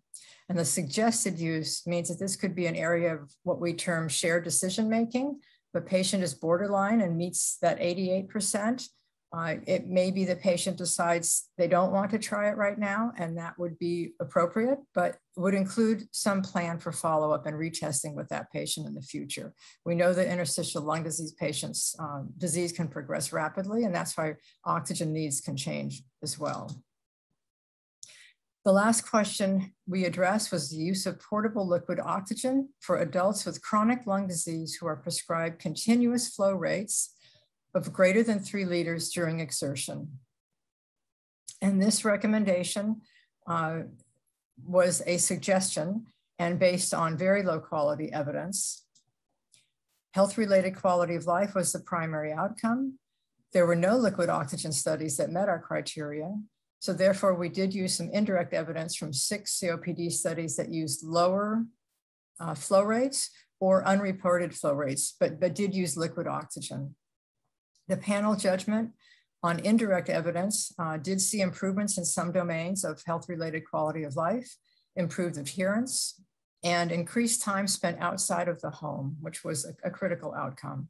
The undesirable consequences included cost. Uh, many DMEs, the durable medical equipment companies, are unable to provide this type of oxygen due to cost. and the manual ability of some patients to fill these canisters, which you can see here on the bottom. And uh, the potential, there's some potential for burns with the liquid um, oxygen frost. So the rationale was that liquid oxygen uh, is very relevant to a subgroup of patients, but there's limited data. And the panel placed a high value uh, on, on uh, mobility. So we suggest prescribing portable liquid oxygen. This was a conditional recommendation and based again on very low quality evidence simply because the studies are not, um, have not been done. Other groups uh, do recommend the, the, the COPD uh, National Institute for Clinical Excellence recommended small lightweight cylinders, oxygen conserving devices, and portable liquid systems should be available for the treatment of patients with COPD. And the VA prescribed for ambulatory patients who use an extensive amount of oxygen from portable sources. So the implementation is challenging because of the cost and now the lack of availability. And we definitely have advocacy groups working on this and also emphasizing the need uh, for device development for high flow, lightweight portable systems to meet these patients' needs. The last area, the panel identified as a standard of care, a minimal expectation is that every patient who's prescribed oxygen is given uh, education and training on the oxygen equipment that they use. Um, including the use, maintenance, and troubleshooting of all equipment, education on safety, smoking cessation, fire prevention, tripping hazards. And this we considered a best practice statement. And you can see the outstanding materials that are available to all patients. It's just a matter of getting them to the patients. So in summary, in integrating these guidelines for our population, patients with interstitial lung disease that have chronic severe resting hypoxemia should use oxygen greater than 15 hours a day to improve survival. So we can tell our patients this data is based on studies from other populations, but we apply it to them as well. Oxygen with exertion only demands more research. Health related quality of life is improved for some patients, but long term data is needed. And recommending again the use of shared decision making and individualized treatment we know that patients with ILD can have a more rapid saturation pattern compared to others. So tracking these patients and retesting them and making sure their needs are met by their devices is really an ongoing process, but it's one that could be delayed if a patient is borderline and just have that ongoing conversation. The lack of liquid oxygen for our high flow active patients may deny this population the ability to travel, work, socialize, and policy change should move this forward. And lastly, the minimum standard of care should include education and training on oxygen equipment, safety, and self-management for all patients who are newly started on oxygen and ongoing. Thank you.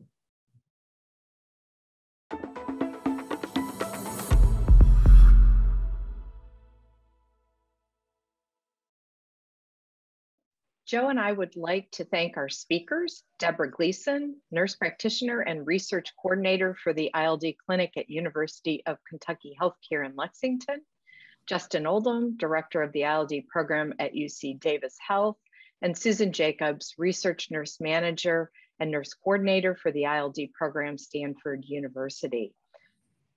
We have some questions for the speakers, but we'd really uh, love to have uh, audience questions. So please submit them. Um, we'll start with a question for Deborah. And um, I think these are gonna, at least mine are gonna start a bit practical. So you're talking on palliative care and the importance of that is resonates, I think, with all of us. What, what do you do if there isn't a palliative care program at your institution. And even in the geographical area where you practice, there are not really great palliative care options. Yeah, and that um, happens uh, a lot of places. Um, we're fortunate to be in a, an area that does have palliative care, but I myself am uh, have a background in palliative care, and I think I probably just refer back to what I said that there are some great resources um, on the internet, um, CAPC, that one reference, they actually have really simple modules that providers can go in there and take some basic um, uh, classes on uh, empathetic communication, um, listening to your patients, and then some symptom management things that even your nurses can do, or your um, nurses' aides if you have support staff to be able to.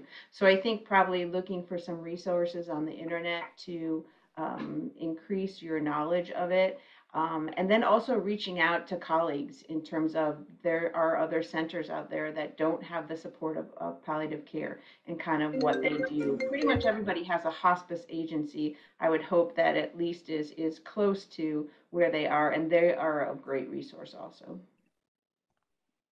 Deborah, I have a, a question along those lines too, and and that uh, first one is: Is there, uh, you know, in this age now of doing things by Zoom and such, are there is there something moving forward that some palliative care can be done by telemedicine?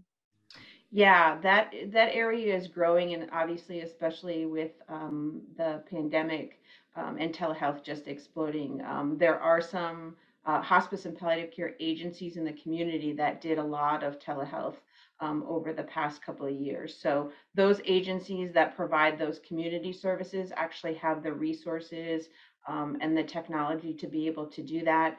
Um, we do a tiny bit of it out of our um, clinic just because we have we cover such a rural population is that we'll do telehealth visits that may just be talking about supportive care and, and is there any data out there regarding patient acceptance based upon patient demographics not that I know of. Um, the patient acceptance is still a, a, big hurdle, and sometimes it even extends into provider acceptance. Um, we still have a lot of providers that, um, you know, even in our own field, that that have um, a challenge with looking at palliative care. And I know that several speakers this week have talked about the differences between palliative care and hospice. So um, I think if we start with our our home group, that will help in maybe uh, pushing that out forward. So, Justin, how rigidly uh, do you use the guidelines in terms of applying them to your patients in terms of diagnosis and then the inclusion criteria in terms of treatment? I mean, you touched on this a, a little, but, but practically speaking, um, do you pull the papers out or do you just look for patients who generally fit um, in the categories and in the guidelines and the and the treatment trials? Yeah, so that's I think two different questions in that um, you know when applying the criteria for diagnosis, you know all of us see patients that don't quite meet you know check every box for a diagnosis, and so while it's important to be dogmatic when it comes to research and and um, you know studying studying patients, I think it's important to you know make sure they meet criteria. But when it comes to treating them in clinic, um, you know if you recognize a phenotype that that you know suggests they have IPF um, but don't have classic CT findings, you know, I, I, think we have to use our clinical gestalt to to treat them in the way we think is most uh, appropriate.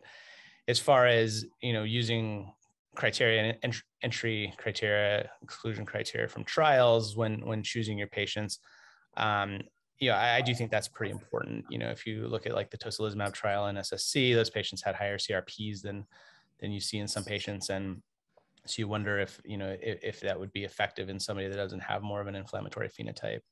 Um, so you know, I think the inclusion exclusion criteria for a trial uh, is something I adhere to probably a little bit more closely than than the diagnostic criteria when when giving somebody a diagnosis.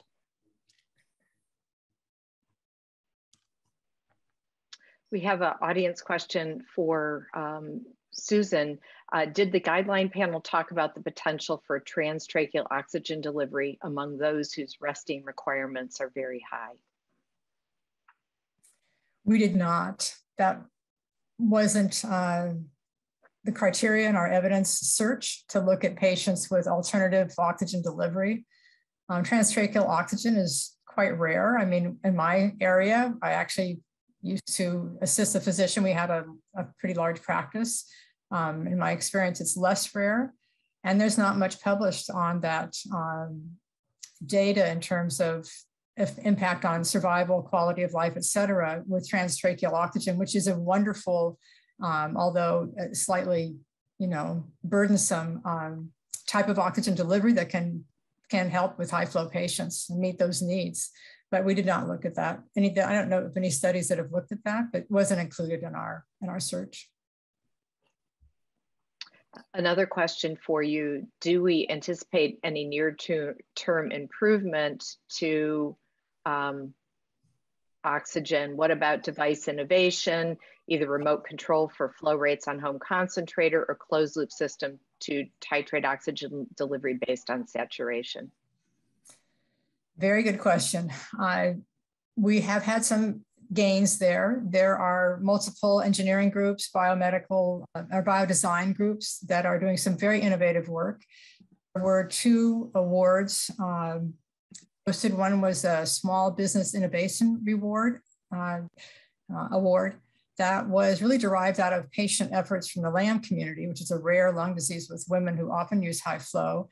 And they basically uh, really propelled uh, this proposal and two, um, two groups were awarded initially for one year.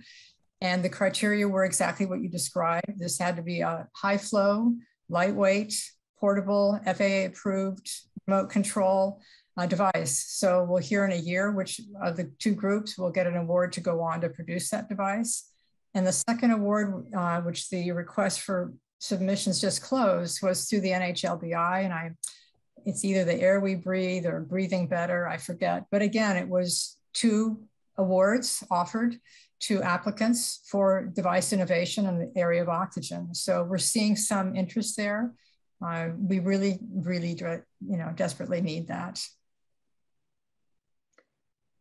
Question for uh, Justin.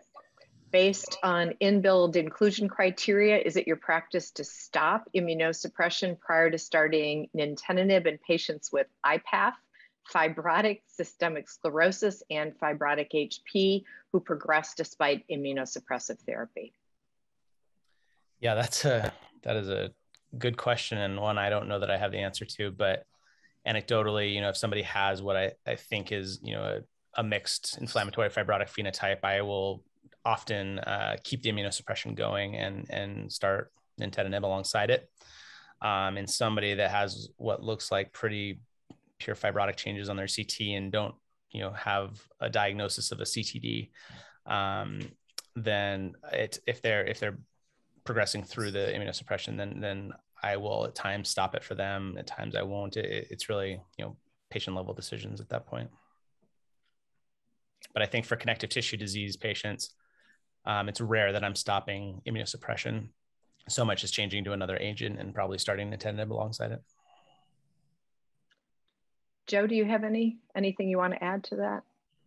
Well, I have a, a question that's related to prior guidelines and, and the use of the, uh, you know, antacid therapy and the effect of some of these drugs on, uh, for example, mycophenolate absorption.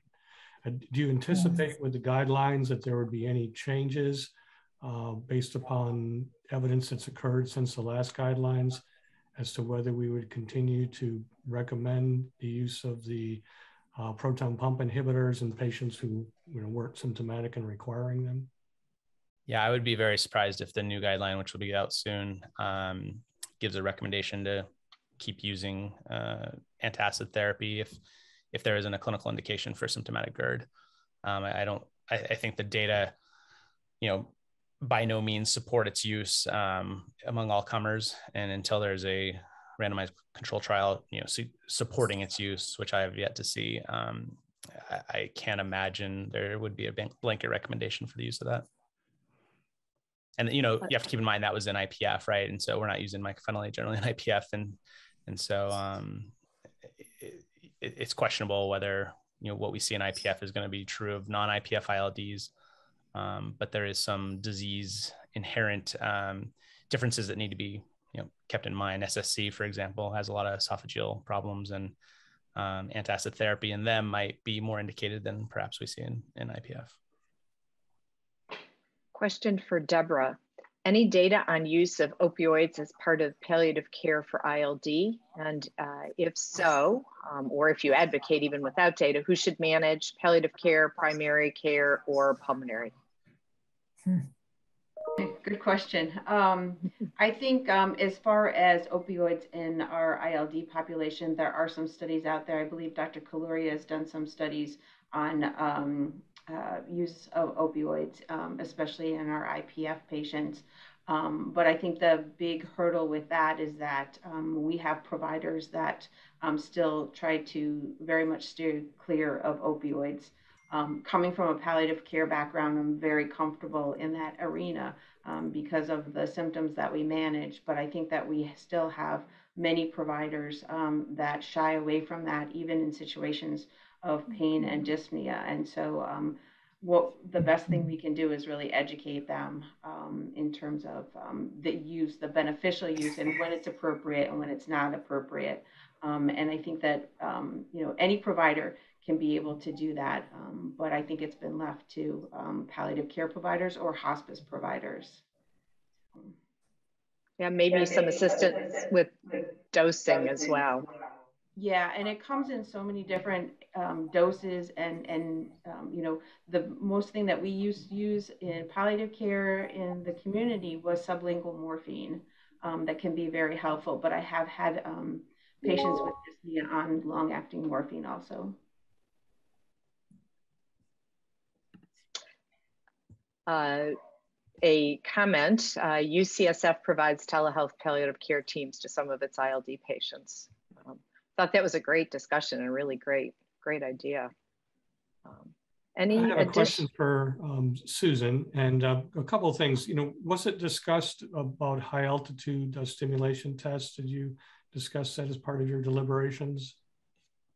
No, it wasn't included in our you know, the data review was really looking at studies to support the use of oxygen at normal, at sea level. We didn't look at uh, high altitude. But certainly with travel, that's something that we recommend, but it wasn't part of this recommendation. Yeah. And, and, and we were kind of cut off during part of your presentation for nighttime uh, testing. Uh, was there any discussion regarding this? No, we also didn't, except some of the studies included uh, criteria that included nocturnal desaturation. Uh, so that was a recommendation in general, retesting and monitoring, but we didn't specifically address only sleep studies separately. But some of the examples included patients with nocturnal desaturation. Thank you. Great.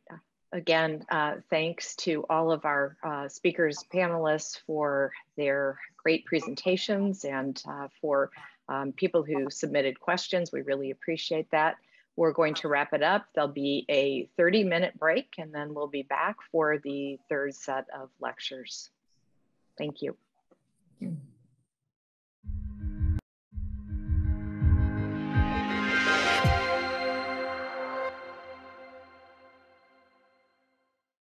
Hello, everyone.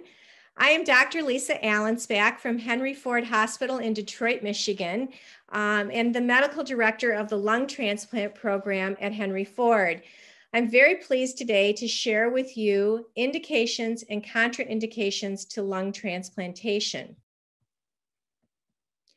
Our general outline today will be over the next 15 minutes to talk about some general guidelines to selection for transplant, introduction of the lung allocation score and how it affects who gets a transplant, medical comorbidities and their effect on eligibility, and then to go over some disease specific criteria and when each disease uh, is at a stage where we consider transplant.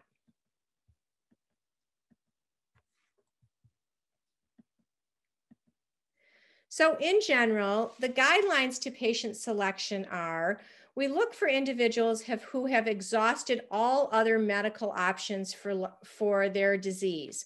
We typically look for people who have less than a 50% chance of survival at two years. And we also want to make sure that they're realizing a net benefit of transplant so that they have a greater than 80% survival likelihood at 90 days. The ideal candidates must have ambulatory rehab potential. So they must be able to get up, get out of bed, ride a bicycle after transplant in order to make these lungs work. We screen very carefully for individuals' support systems because it takes a number of people to make a transplant work. And we really want to make sure that individuals have the right group around them, um, that they themselves have the right psychiatric profile to adhere to a very complex medical regimen. We also want to make sure that they don't have any comorbidities which would limit their lifespan to less than five years. So in an effort to try to utilize lungs to the maximum ability, we wanna make sure we're selecting people who are sick enough to really see a benefit. And so for the first two decades of lung transplantation, patients got on lists, they waited, they waited their time, and when their name came up, they were transplanted. And it really made no difference how sick they were or if they weren't able to survive that wait. And then uh, the lung allocation scoring system was created, and it was uh, designed really to be able to select those individuals who are most in need. Um, we like to be able to think of this lung allocation scoring as really selecting out people who can't live without a lung transplant and yet still have the ability to do well with the transplant and survive well. Um, the lung allocation scoring system um, created a very, very sort of a different uh, cohort of patients who were likely to be transplanted. And it really favored patients with IPF over individuals with COPD. As you can see from this slide, the um, as we look at the diseases that are uh, getting transplanted over uh, the last, uh, I guess, 20 years, we can see that the fastest growing group of individuals is, is located in this white bar here, and those are individuals with IPF.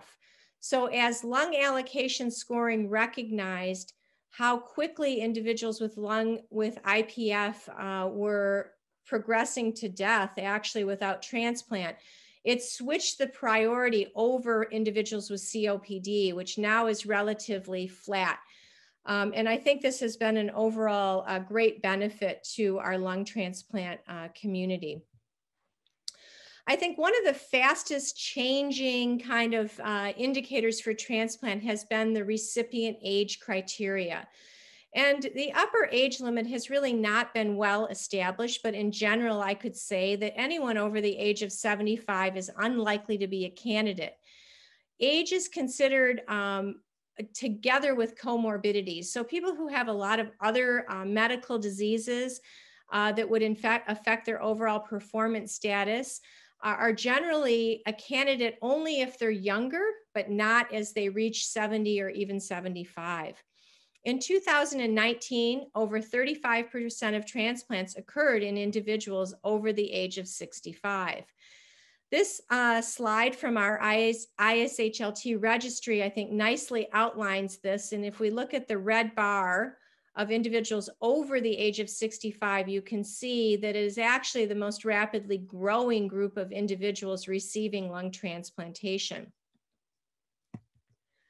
So we look at some absolute contraindications. Who is absolutely not a candidate? And that would be people who have any active, ongoing extrapulmonary infections. We want those treated. We want people free of malignancy. We mandate that people have a BMI of less than 35. Uh, we do we make sure that no one is using any form of tobacco for at least six months prior to being on our list, and they must must be committed to lifelong abstinence from tobacco and without any history of other drugs or substance abuses, including alcohol. We want to make sure that the individual, if they have coronary disease or blockage in their coronary arteries, that that has been treated and that their left ventricle or their overall heart function is strong, usually with a, an ejection fraction of greater than 45%. We're particularly careful to look at kidney, liver, and GI tract um, dysfunction just to make sure that other organs don't get in the way of success of the lung transplant some relative contraindications. So if somebody's BMI is obese, greater than 30, but less than 35, that poses a risk, but we still usually will accept those individuals as long as they continue losing weight. We like to have them um, not severely malnourished, and if they are, we'll put a feeding tube in to support them. We look carefully for osteoporosis and have that treated. Um, if somebody has highly resistant organisms in their native lung, we would look and make sure that they have um, an ability to have an antibiotic regimen that would be effective after transplant. We are now successfully transplanting individuals with HIV as long as it has been controlled. And then if they've had hepatitis, again, we'll want that treated. And then extensive surgeries in their chest also pose a risk.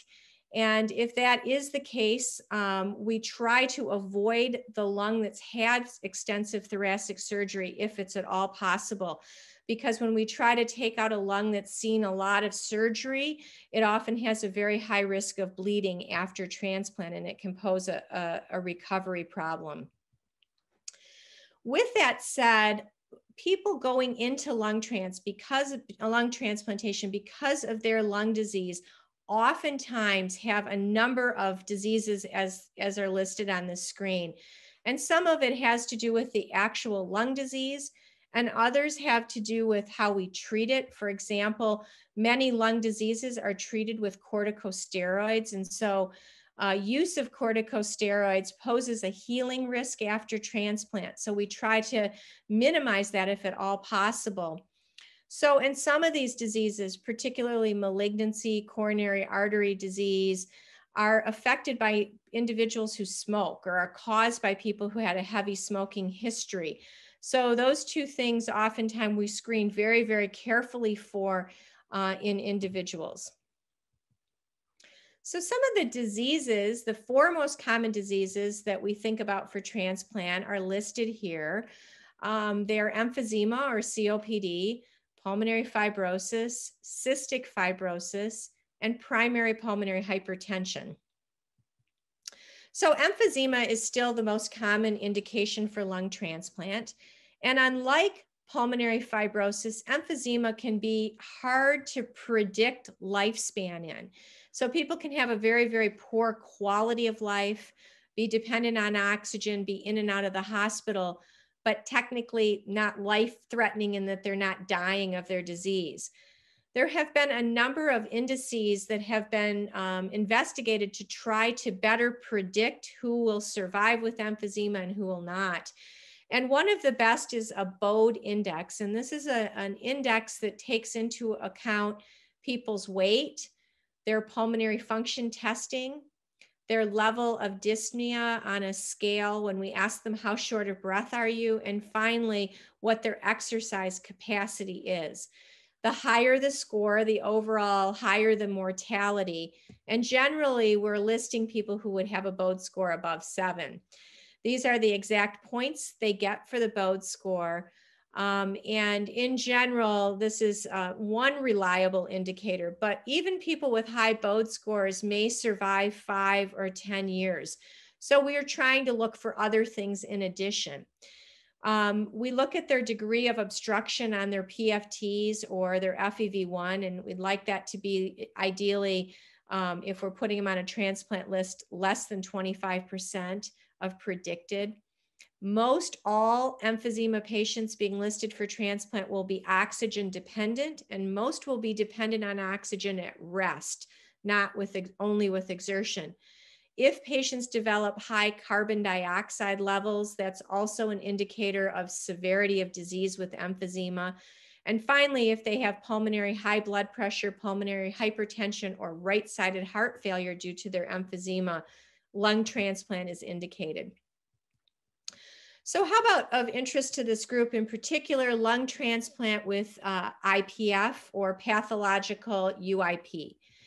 So we know that idiopathic pulmonary fibrosis has a poor overall survival with a median time of survival uh, from the diagnosis of four years. But we must remember many people have had this disease not correctly diagnosed for, for many years before their exact diagnosis.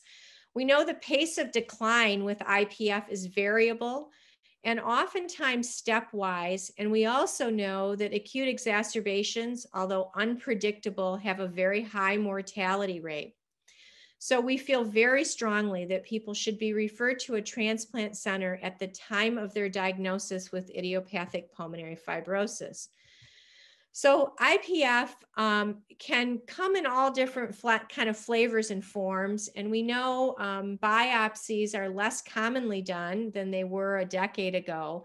But we, if we do have a biopsy and we see UIP pathologically as opposed to NSIP, which has more of an inflammatory uh, component to it, it carries a worse prognosis. If we see on a CAT scan a lot of honeycombing, which is a permanent destruction of the lung, versus ground glass, which is an inflammation of the lung, honeycombing has a poorer prognosis. We look carefully at PFTs and especially what happens over time. And when the diffusion capacity or the ability to exchange oxygen throughout the lung gets to a critical number of 39%, or sometimes even uh, a little bit higher than that, we think that somebody should be transplanted. At the moment, people are needing oxygen uh, with IPF is really an indicator to have them on a transplant list because you can see their four-year survival is low. Pulmonary hypertension is a poor sign, um, especially when it is severe. It carries a poor overall survival without transplant. And so we really want to identify anyone developing this and have them on a transplant list if they're eligible. And finally, if somebody is having acute exacerbation where they end up in an ICU on a ventilator, uh, they're very, very unlikely to recover. Unfortunately, we see a lot of people for transplant at this stage, but ideally we would like to see them sooner. Cystic fibrosis is another disease we consider for transplant. It's an autosomal recessive disease, and its long-term survival for most individuals will require lung transplant. We know that people who have low um, FEV1, females, and younger individuals tend to have a worse outcome once they've lost their lung capacity. And we're careful to look at what types, types of bacteria are in their lung because they're oftentimes very resistant, and we want that antibiotic um, sort of um, plan for after transplant. So in general, we want to see patients with cystic fibrosis when they're having a rapid decline in their lung function, if they're requiring oxygen or not ridding themselves of carbon dioxide, if they have pulmonary hypertension, or if overall their functional status is really declining. And then some individuals will deal with life-threatening hemoptysis or coughing of blood, uh, which is another indicator for transplant. And so the last category, pulmonary hypertension, is uh, one of the fields in pulmonary medicine that has seen the most advances medically. And it used to require transplant, but now there are many medicines that are available. Usually people take multiple medicines at the same time with an additive effect. And only once those medicines don't work and their functional status declines are they a transplant candidate. So the, the last message, this slide is, um, is probably 25 years old and it hasn't changed. And that is there is a window of opportunity for transplant. We don't want to see people too early, but we there's also uh, a point at which people can't survive uh, such an extensive surgery. So to conclude, um, uh, the message is, is that lung transplant definitely offers improved quality of life and survival to carefully selected individuals with end stage lung disease. We uh, want to pay careful attention to their existing medical conditions and the natural history of someone's lung disease will indicate when lung transplant should be considered. So thank you very much. And I look forward to our question and answer session uh, uh, after all the presentations. Thank you.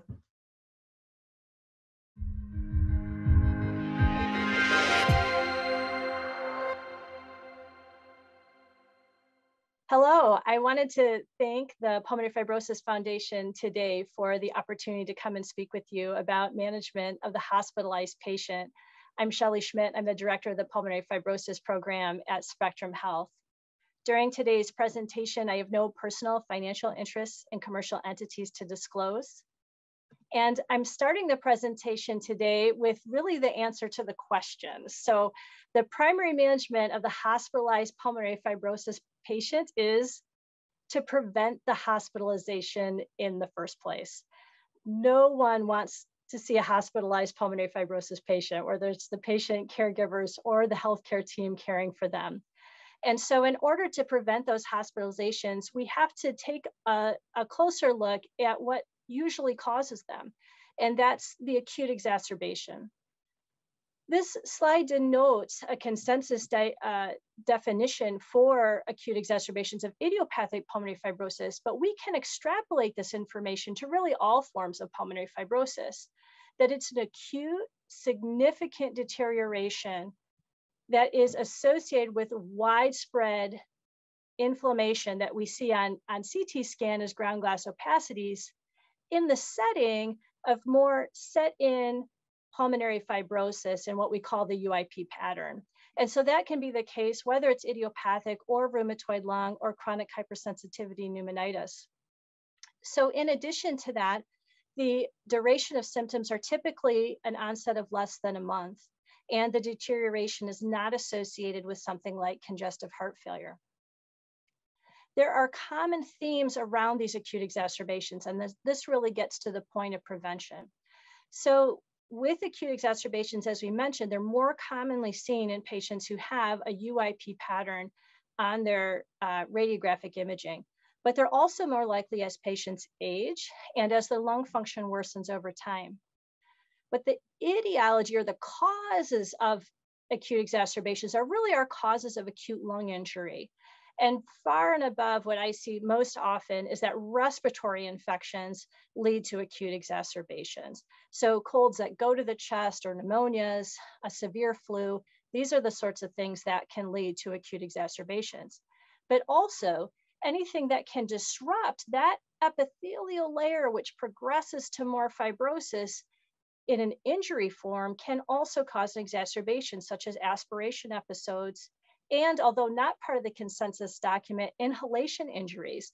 And so here in more rural areas of Michigan where patients are using wood stoves uh, to burn for heat or burning wood piles, smoke inhalation injuries, or even chemicals like pool chemicals can also lead to acute exacerbations.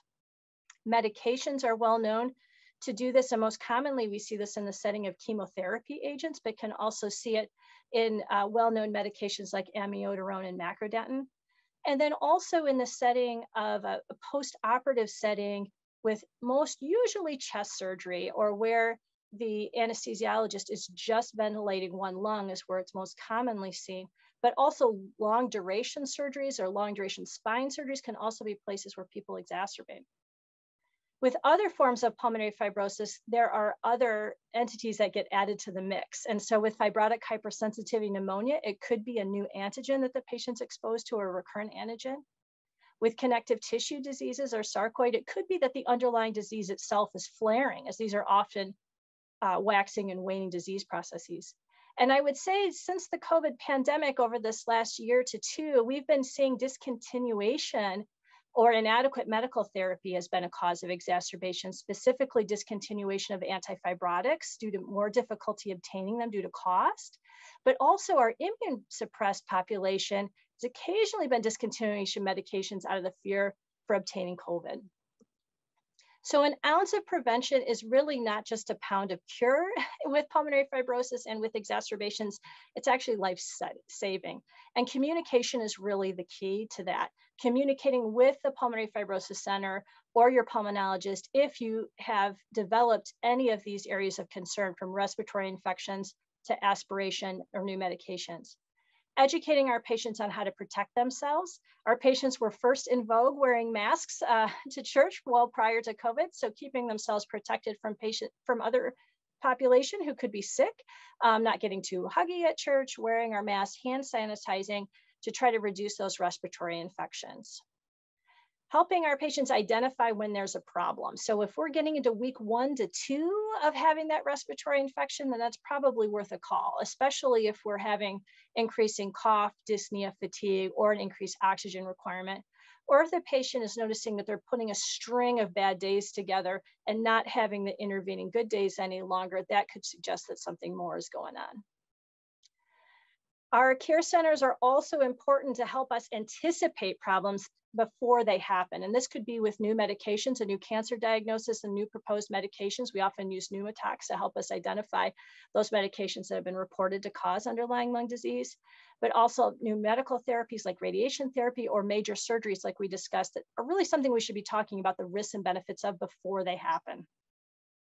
And this is really where our care centers and our care center network is so important because that gives that availability to the patient and the family to discuss these issues ahead of time, to triage their concerns, perhaps provide a telehealth visit if we need it, or urgent in-person visits if we're concerned about an early exacerbation.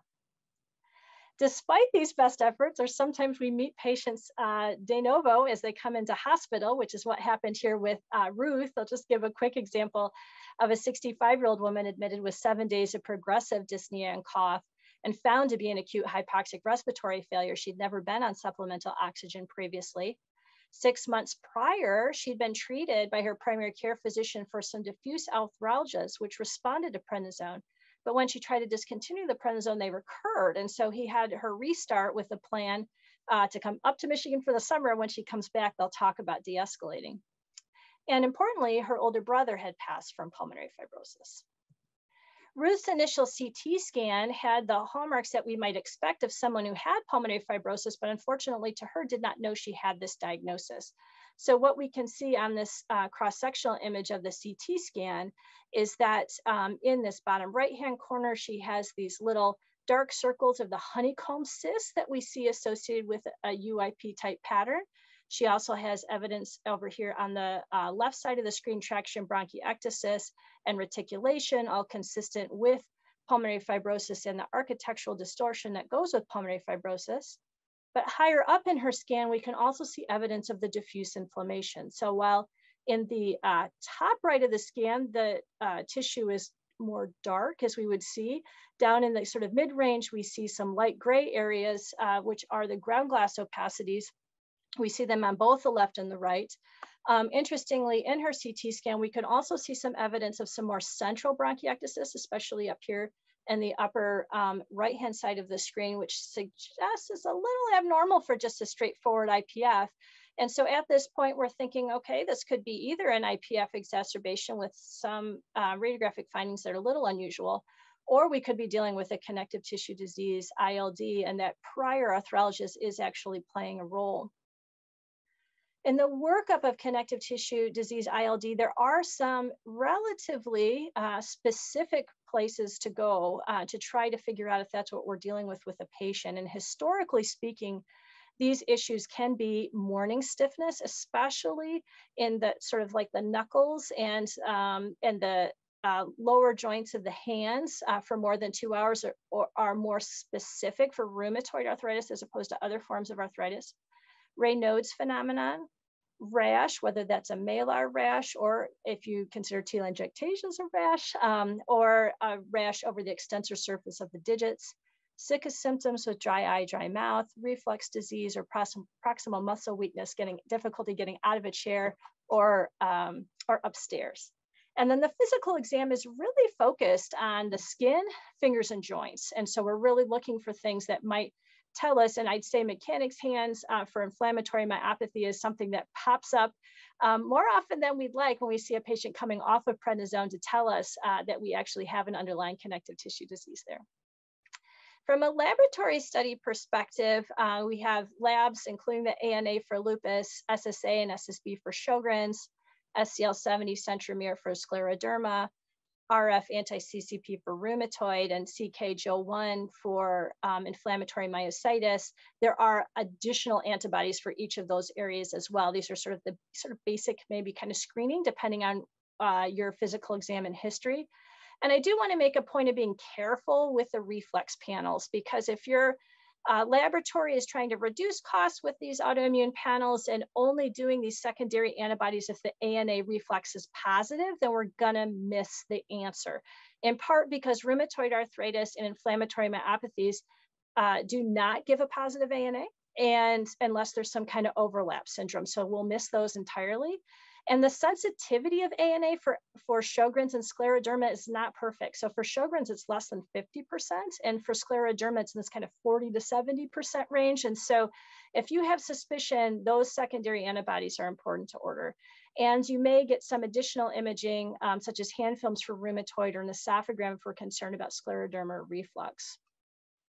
What we see here on her hand films is a bit of what I saw on exam, which is at the very tops in her distal interphalangeal joints, there's a lot of joint destruction. And so originally I thought this was just gonna be osteoarthritis associated with that, but she does have some joint destruction in the left um, index finger here at the uh, PIP and then down in the metacarpals as well. And so that was a concerning scan with maybe some mixed uh, disease, but concerning for destructive disease. And then our laboratory studies were showing us that uh, from our definition of through the roof on her uh, anticyclic citrullinated peptide, that rheumatoid arthritis may very well be at play. And in a case like this, coming in with acute symptoms on prednisone, we did perform bronchoscopy to ensure there wasn't a secondary infection. But without those things, then we were falling more towards a rheumatoid flare and pulmonary fibrosis, a rheumatoid patient with UIP pattern on CT. And so from Dr. Wijsenbeek's and Cottin's uh, review in the New England Journal last year, we have, we actually fit in this, this graph with rheumatoid ILD and are seeing disease progression. So we need to reconsider our management. And in the hospital, um, really that focus is gonna be on glucocorticoids. And so we can see though here on this, um, on this picture that between rheumatoid, sarcoid, chronic uh, hypersensitivity pneumonitis or fibrotic hypersensitivity pneumonitis, NSIP, and unclassifiable, that steroids and immune suppression are a component, an important component to the therapy and assessing response to those things. The little gray boxes are the secondary steroid sparing agents that we move to um, after glucocorticoids or in conjunction with, in part because glucocorticoids are the fastest at immune suppressing. So that's where we start. And then we work in our other meds, um, sometimes right away or a little after. And then considering antifibrotic agents as we um, as well, as noted in the purple boxes. So glucocorticoids are really sort of the hallmark of treatment for acute exacerbations for pulmonary fibrosis, for connective tissue disease, ILD, often in combination with rheumatology consultation. In our center, we use methylprednisolone, and we're typically using one to two mgs per kg up to a pulse of 500 to 1,000 milligrams every 24 hours for three days to start, depending on how severe the flare is. Um, and then consideration to start a steroid, steroid sparing agent, especially if we're up at those pulse doses where we're going to need more help. Um, with idiopathic pulmonary fibrosis, it's a weak consensus recommendation for therapy. And in our center, we typically use about 240 to 500 milligrams of uh, methylprednisolone in divided doses over the first few days to assess for um, improvement. And so um, there, uh, importantly, are no randomized control trials to use steroids in this setting. And so this is uh, sort of an expert opinion uh, decision of what's been happening uh, both at our center and at many other centers. But importantly, we do not have randomized studies to suggest that this is required. And it's not really known if these patients would improve on their own uh, without the steroids. There's also consideration to optimize antifibrotic therapy if the patient wasn't started on antifibrotic therapy or had come off it. Um, the responses to therapy are assessed by the oxygen requirement, symptoms, and radiographic changes. And they're often protracted tapers driven by symptoms and objective data. Supportive care in the hospital as well, supplemental oxygen, optimizing fluid status. And then it's important to keep these patients moving, PT, OT, and if needed, palliative care. Clinical trials, however, in this area are desperately needed. And while there are nearly a dozen other medications that have been used in acute exacerbation, we have not up to this point done those in a randomized fashion I will bring up the antifibrotics because they do have their own sets of randomized control trials. And with their data and with their pooled data suggests for both nintedanib and pirfenidone that patients are probably less likely to exacerbate on these medicines and they're probably more likely to stabilize after exacerbation. So in summary, our goal primary goal is to avoid hospitalization with great communication with our patients and their caregivers, education and awareness for them, and having the Pulmonary Fibrosis Foundation Care Center availability to help them work through and uh, ideally prevent that hospitalization. If they get to hospital, well, I, I certainly agree always with Dr. Osler's just listen to your patient because he, she, or they is telling you the diagnosis. And that can especially be true with connective tissue disease, ILD. But we also need a little bit more high tech, uh, sometimes some lab CT scanner plus or minus bronchoscopy to make that diagnosis. High dose steroids are the typical therapy that are used with steroid sparing agents of a variety of types depending on the underlying disease with antifibrotic therapy and very supportive care for these families, especially after discharge where these patients are frequently on new oxygen or a much higher dose of oxygen that limits their activities, getting them uh, connected with pulmonary rehabilitation. And if this wasn't the case prior to exacerbation, connected to transplant evaluation if they're a good candidate and palliative care. Thank you so much for your time and attention. Stay safe out there.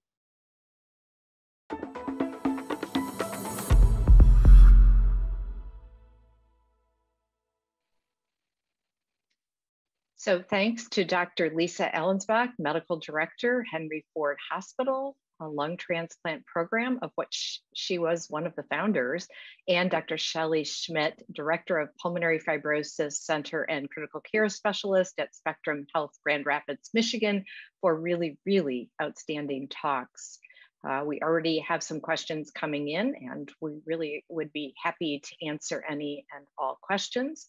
The first question is for uh, Dr. Allenspach, uh, Lisa. As we see an increase of patients with connective tissue ILD with progressive fibrosis, are there other criteria that are contraindications to transplant in that population? Well, I think that, you know, one of the basic premises is that we always want to make sure that people have irreversible disease. So we do know in the cohort of patients with uh, connective tissue disease, some will be more responsive than others. So we do take the underlying disease into consideration. For example, individuals with rheumatoid arthritis, we know carry a higher uh, risk of fatality do that, than do other groups of connective tissue disease. But we also want to look, I think, at the systemic effect of the connective tissue disease. And so, how does it affect the rest of them? Uh, for example, individuals with scleroderma or mixed connective tissue disease, we pay great care in looking at their esophageal motility, making sure that we're not um, transplanting people that are at very high risk of aspiration after transplant. So that's sort of an important key factor that we look at.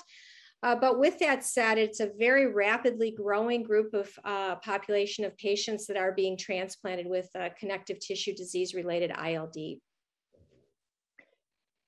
What's your feeling about rituximab as a treatment for their CTD ILD? Is that a contraindication, relative or absolute for lung transplant? Yeah, I think we have used it as a relative contraindication. So we have still transplanted people, uh, particularly people that have, you know, an acute exacerbation relative to the time of the rituximab. If we have the luxury of stopping it and we know somebody has end stage disease that's been unresponsive, we will do that. So we'd like to try to minimize the risk of that drug if we can, but we have not used it as an absolute contraindication kind of very similar to steroid dosing. So we oftentimes will see people who are very end stage uh, with, with IPF who have been on high doses of, of steroids for years. Um, and we're still transplanting those individuals, but it is definitely a higher risk for um, for a worse outcome, for wound healing, for dehiscence of the anastomosis. So again, something that we would really try to minimize and hope to get their steroid dose down to 10 milligrams or less if it's if it's an option for someone. Does it matter if the IPF patients are on antifibrotics? How does that affect their the possibility of transplant? And do you need to modify the dosing or stop them? We have not stopped antifibrotics. In fact, we, we've encouraged people, if they're tolerating them well, uh, to continue on antifibrotics with an evidence that hopefully this slows down progression. And we have not mandated that they be stopped in any way. Joe, do you have any questions? I, I think another question just popped up uh, from the audience. We'll give them that opportunity. Uh, what is the time frame when you say post-COVID patients will not recover and would likely need a transplant? Well, that's a great question. And I don't think that anyone really knows the answer to that. So at Henry Ford, we have transplanted seven individuals with uh, COVID related lung disease. All of those patients have been transplanted off of ECMO.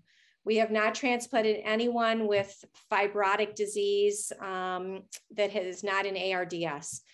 Uh, we are following a number of patients uh, who are on still high amounts of oxygen. Uh, but what we've noticed is that a lot of people seem to be stable, if not um, improving. I think the cohort of patients that are, um, you know, probably in need of transplant after COVID are those with underlying fibrosis. And we do have a number of people who had very mild IPF, not oxygen requiring, contracted COVID, and then have declined and have had, actually rapid progression of their IPF after COVID. So I think right now we have a number of different cohorts of patients. Um, our indicator has really been ARDS we have mandated that people be at least a month away from their uh, viral infection. By UNOS criteria, they have to have two negative COVID swabs 24 hours apart to be placed on the transplant list. Um, the majority of patients that we have done have been more than two months after their COVID infection. So we have really tried to give everybody the benefit of recovery prior to offering lung transplant in the group of individuals that has undergone transplant in general, um, they are patients who oftentimes have had barotrauma. So many of them have chest tubes in place at the time of their transplant. Um, and it doesn't seem to me as though there's sort of a, you know, sort of a gray zone in these people. These people clearly have um, such horrible ventilatory parameters. They've had to be placed on ECMO. They've not had any signs that their lungs are recovering. Um, and so it doesn't seem like in that group of patients, it's really a, a an option not to transplant them. Uh, we have run into a lot of difficulties with individuals who then develop um, organ failure after they're listed on ECMO or people who have had complications of infection with ECMO. We um, did transplant one of our seven who had ongoing infection and that probably did not leave the hospital. And I think it was really a reflection of the fact of all the infections that were related to his ventilatory stay. Um, so I think it's something that's yet to be defined. Um, when we look at the vast majority of um, transplants being done in this country, they're not for COVID. I mean, there have only been about 160 lung transplants reported to UNOS with a diagnosis of either COVID fibrosis combined with COVID ARDS. So it certainly at this point is really a minority of transplants happening. Shelley, as we think about ways to prevent acute exacerbations and patients needing lung transplant, what do you recommend pre-operatively when you evaluate a patient um, who has ILD um, what is it that you tell the surgeon, the anesthesiologist, the patient in terms of what can be done to minimize the risk um, during and after surgery? So surgeries are, are a time that are, uh, although a, a, low risk, but they are a time that can lead to exacerbation and seem to be most commonly done as we were discussing on, in chest surgeries um, but can also be in very protracted long surgeries as well. And so usually our, our first um, interaction we try to have with the operative team is is there any way depending on the procedure it could be done without mechanical ventilation? And so most commonly uh, our orthopedic surgeries are, are usually pretty well handled in our patients with pulmonary fibrosis. Many times they can use blocks or regional anesthesia so that we can get away from general endotracheal anesthesia. And so if we have that option at all, you know, hernia repairs, joints, anything like that, we usually work that uh, method. Um, it, you know, in patients who have severe cardiac disease, these are the trickiest ones to try to determine what's the right thing to do um, because if there's, you know, any even with some sometimes mild pulmonary fibrosis, but certainly if it's it's more moderate to severe, these patients can go from a, a limited but functional status to not leaving the hospital. And so it can be very scary in that patient population. And so if we are talking about a chest surgery, um, especially if the patient again is moderate fibrosis and or has an oxygen requirement, we most of the time try to steer another method, medical management or some other percutaneous management to try to keep the patient away um, from either single lung ventilation or the mechanical ventilator. Um, and these are multidisciplinary discussions that we're having, um, which again, I think is, is so important with these patients to make sure that they don't accidentally wander into uh, a surgery without knowing uh, what the potential risks and pitfalls are going to be. And so, um, so that uh, wide open conversation with your doctor, with your pulmonologist when you're heading into surgery is, is very important so we can try to mitigate whatever risk we can. Question about can you discuss donor lungs uh, if there's been a history of COVID? So can a mm-hmm. COVID infected patient be a donor?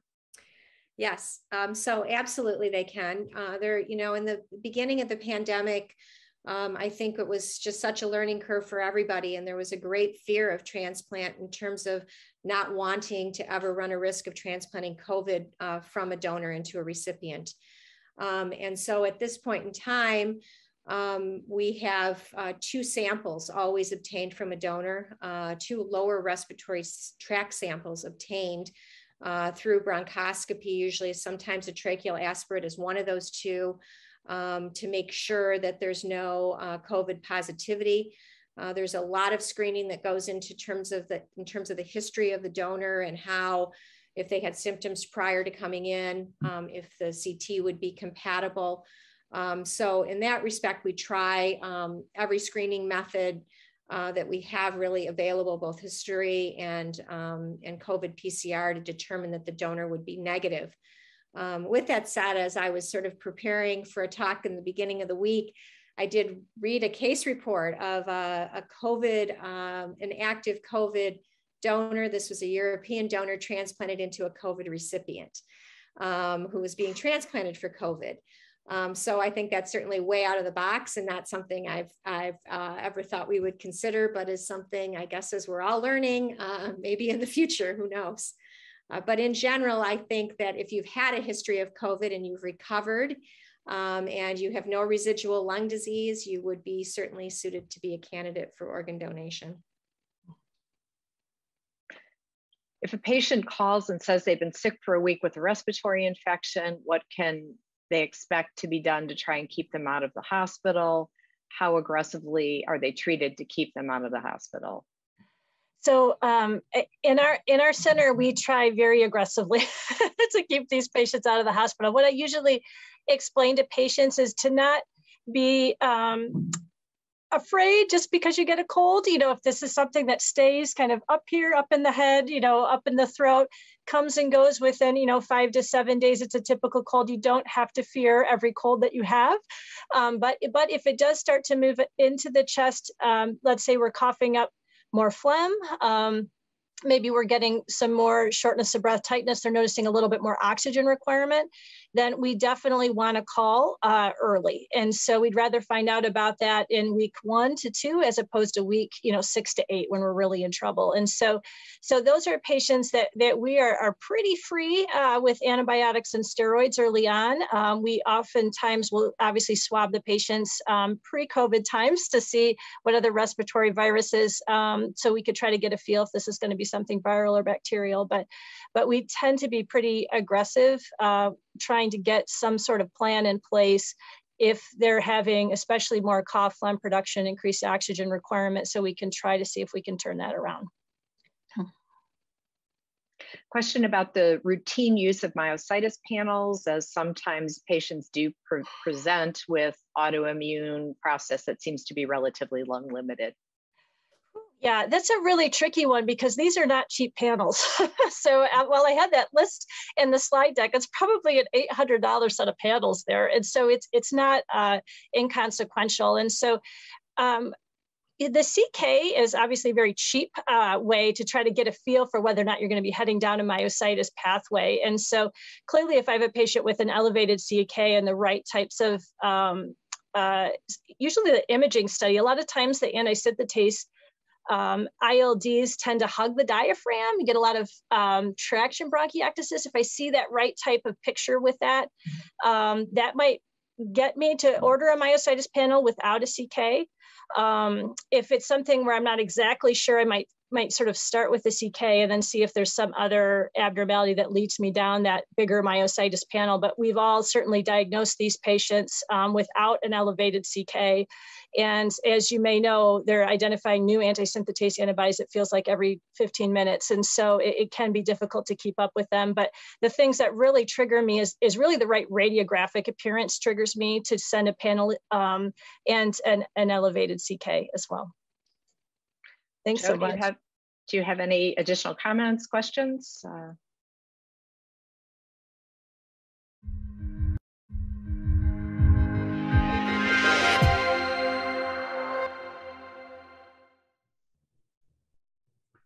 Um, hi, good afternoon, everyone. Uh, I'm Rishi Raj. I direct the interstitial lung diseases program here at Stanford. And we'll spend the next 10 minutes discussing a case that we saw in our ILD clinic not too long ago. And uh, uh, joining me uh, are, are uh, uh, the faculty that you see here. Dr. Leung is professor of radiology at Stanford, associate chair of radiology, and she directs the thoracic radiology program. Dr. Berry, professor of pathology, and directs the uh, cardiac and pulmonary pathology program here at Stanford. Uh, uh, Susan Jacobs, um, she's one of the board of directors of PFF, an international oxygen expert, and she directs our clinical research program here in pulmonary division at Stanford. Um, Dr. DeBoer is an assistant professor of uh, medicine here at Stanford in the pulmonary division, one of our core ILD faculty.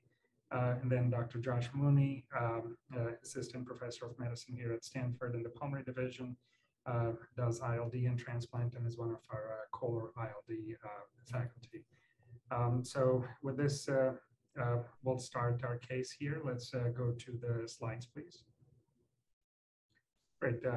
so our first case is a 39-year-old male who had history of gastroesophageal reflux disease, a um, couple of other minor medical problems, uh, high functioning, very fit physically, but has noticed that over the last six months he's had difficulty breathing.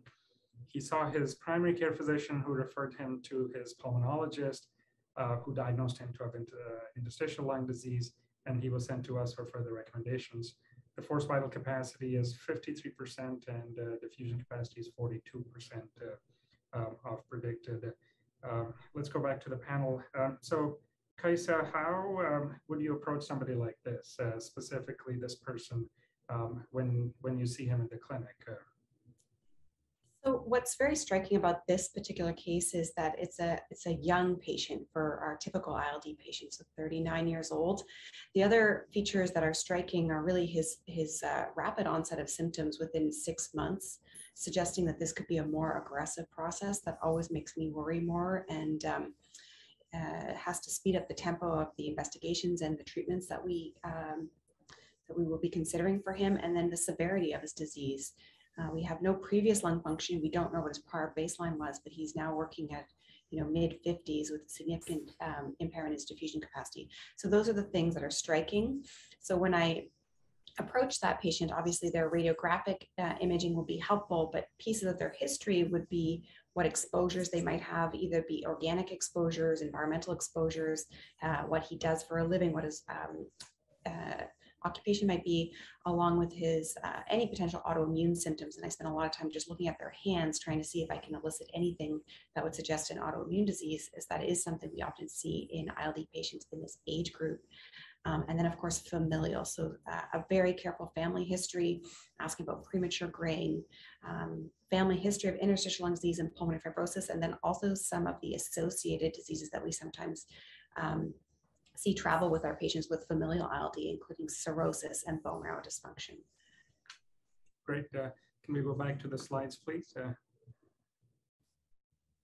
so we did that, um, and you know he's had some history of smoking. We did not think this was clinically significant, did not have any inhalational or occupational risk factors. Uh, he neither had symptoms uh, nor had signs, and detailed serologies were negative, and he did not have any family members with any lung problems or interstitial lung diseases. And so he came to us with a CAT scan. Um, um, and uh, Dr. Leung, if uh, you would tell us uh, what, what you're seeing on the CAT scan here. Thank you very much. Um, so here we're seeing coronal reformatted as well as uh, transverse axial image at the um, upper lung zones. And I think that when we look at the coronal reformatted image, we can clearly see that there are abnormalities in the lungs that predominate at the lung bases. Looking in more detail, excuse me, at the transverse images, we can certainly appreciate that there is a fibrotic disease in which we see largely subpleural reticular opacities with associated areas of early honeycombing. If I can have the next slide, please. As we continue down the lungs, appreciate along the anterior aspect of both upper lobes the presence of honeycombing. So clearly a fibrotic lung disease that's, that's very uh, evident along with what I've already described as subpleural reticulation. As our eyes travel down to the more inferior lungs, we can appreciate not only the subpleural predominance of the largely uh, intralobular reticular opacities, we also appreciate areas of ground glass that are away from the subpleural regions. And when we see ground glass away from subpleural regions, despite the lower lobe predominance of abnormalities, we're certainly thinking that this is not a typical UIP pattern. Um, so, so in this young individual, although there is clearly fibrotic lung disease, it has a significant amounts of associated ground glass, and this would definitely not be typical of a UIP pattern. Um, as already discussed, uh, certainly, we would, might think about connective tissue disorders or something familial given his relatively young age. Right. Uh, thank you, Dr. Leung. So, Dr. Mooney, you know, given this, uh, should this patient be biopsied? Yeah, uh, thanks, Dr. Raj. Uh, you know, I think we're dealing with a young patient. He does have significant, you know, physiologic impairment, but otherwise healthy. And we have an otherwise idiopathic process that is in an atypical or indeterminate pattern for UIP. So I do think in this setting that um, further uh, uh, pathologic uh, sampling could be helpful in providing and, and providing us a more definitive diagnosis, but also guiding our treatment. Um, in terms of, you know, what type of biopsy, I, I would I think probably a surgical lung biopsy would be favorable in terms of the information he provides. Um, I, I think given his uh, state of health, he's probably right at the cusp of someone who could tolerate that. Um, and so I'd probably pursue a surgical lung biopsy in, in this patient. Right. Uh, um, can we go back to the slides, please? Uh,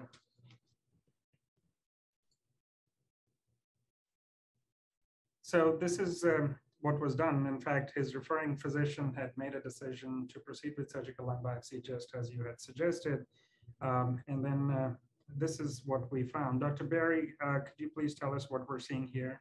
Yes, so a, a generous sampling of the left upper and lower lobes were performed. And uh, as demonstrated by this uh, low power magnification, I think there's a variety of different patterns that you can pick out depending on which lobule you um, you you uh, evaluate. Some of the areas show a, a marked uh, distortion of the lobules with fibrosis, as noted off to the the far uh, left-hand side of the image, while others show better preservation of the lobules. Um, and then I think if we go to the next slide, we can appreciate again this um, variety of patterns. There's some areas where you see subpleural fibrosis with uh, uh, with increased fibrosis and fibroblastic activity towards the periphery of the lobule, uh, suggesting an, an early UIP-like pattern. If we go to the next slide, I think we can appreciate other areas that show more of a uniform expansion of the, uh, of the distortion of the lobule, suggesting almost a fibrotic NSIP-like change. And I think the next slide showed uh, that there were areas that had progressed to a honeycomb change also draw your attention to the uh, intense uh, inflammatory a component that's present in some of these areas. So again, it's not a, a typical UIP-like pattern, and it would raise uh, a differential that would include, at least based on the morphology, a connective tissue disease associated um, um, uh, lesion. Uh, but in overall, I, I, think it's unclassifiable given these uh, variety of different patterns. Thank you, Dr. Bowie. Could, uh, could we go back to the panel, please? Uh, so, Dr. DeBoer, um, you know, given all this so far, um, what do you, what should we say the patient has? Uh, at this point, I think he remains unclassifiable. Um, he has uh, a CT scan, which is um, inconsistent with UIP, has areas that we suspect might be inflammatory because there's ground glass away from those areas of fibrosis, and then a mixed pattern on his biopsy. Um, we do see this uh, sort of discordant pa pattern in patients with familial disease. So I think I would go back to my history and go back to testing for that, as long with with a, a very careful screen for rheumatologic diseases, just based on the pattern. But I think we don't have anything per history or per serologies or by clinical findings at this point, and so he, that puts him in this unclassifiable um, ILD. The concern is that there is this element of fibrosis, but there's also some inflammation. So because he's so young and um, um, uh, and he's changed so quickly, I think you, would often offer him a trial of immunosuppression. And uh, looking at the history, um, which Dr. Just provided. So um, when uh, additional history was attained, it looks like he has a history of premature graying in his 20s. Right to the slides. History. Sorry. I'm sorry, uh, please continue. Yeah. So unclassifiable at this point. Uh, all right, um, great. Uh, so, you know, we did uh, talk to him. There was no family history of interstitial lung disease. And as you mentioned, he did have history of early graying and uh, uh, uh family history of early graying.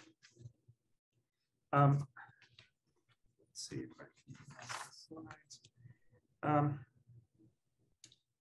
he he was started on prednisone by his uh, referring physician. He was started also on mycophenolate, which was escalated. Um, this was continued for about two months, uh, which is when uh, he saw us. He wasn't feeling much better. His uh, forced vital capacity and diffusion capacity actually had continued to deteriorate a bit. Uh, I think so. Um, and what do you think about the CAT scan here? It does look uh, quite better, uh, even though he's not feeling much better. So we have um, images at presentation and then two months later corresponding to his uh, treatment. And I think that while the two months later study looks like um, that some of the areas potentially that were darker or, or I'm sorry, lighter on the prior study look better aerated or blacker. In fact, I think largely the changes that we're seeing are related to the lung volumes. So he is at higher lung volumes on the two month study. And I looked in detail at the uh, images and compared them. And I think, in honesty, the areas of subpleural reticulation and ground glass largely remain the same. And I do not believe that I have control to the arrow to show areas of, of, of change. Um, but uh, it, but um, uh, I think on this one, as I've said, the, the images are the same except for a change in lung volumes. Thank you, Anne. So, um, Kaisa, what, uh, given all this information, you know, what, what else should we be doing? What else should we be looking for in this patient? Uh, yeah, I think the, you know, going back to his history, the family history of premature graying and, um, you know, which sounds quite significant, is an important factor to not miss. And so that could be suggestive of short telomeres or a telomeropathy. And so when I hear that from patients, I typically refer them um, for genetic testing. So measuring their telomere lengths along with sending them for a genetic panel. Those typically could involve TERT and TERC mutations, um, looking for PARN and other, other um, mutations or variants, I should say, that are associated with these diseases. So I would send him for that along with um, the telomere lengths, as I mentioned, and genetic counseling. Um, and just to alert him of what I'm listening for and looking for so that he could go back to his family history and make sure there isn't anyone um, in that history that we've missed.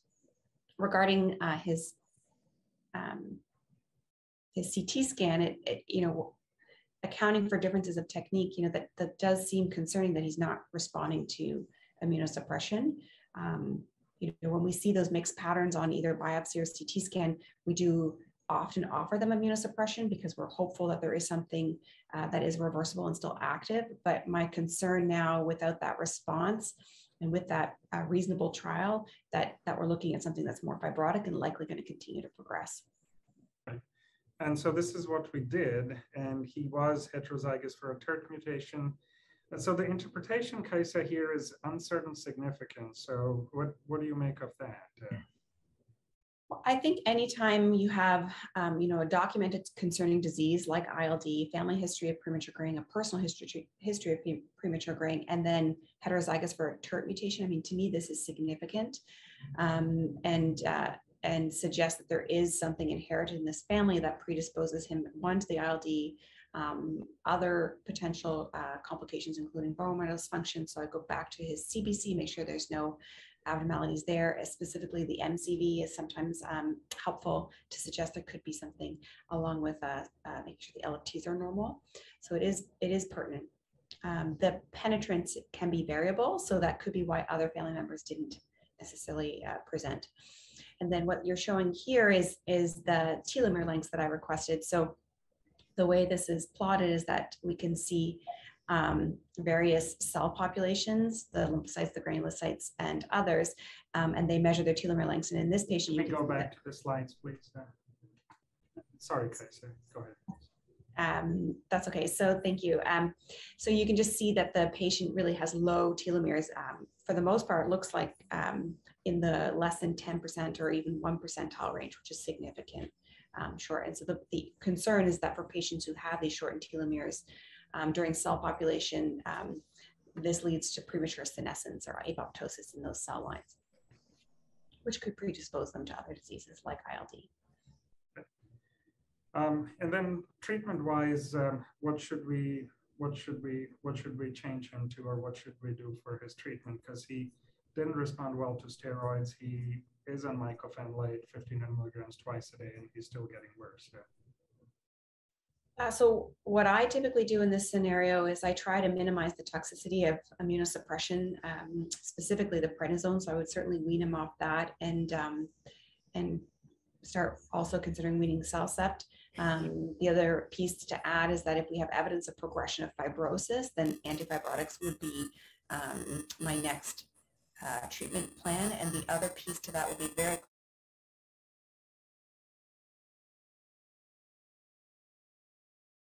um, an early referral to lung transplant for evaluation be approved. Thank you. Um.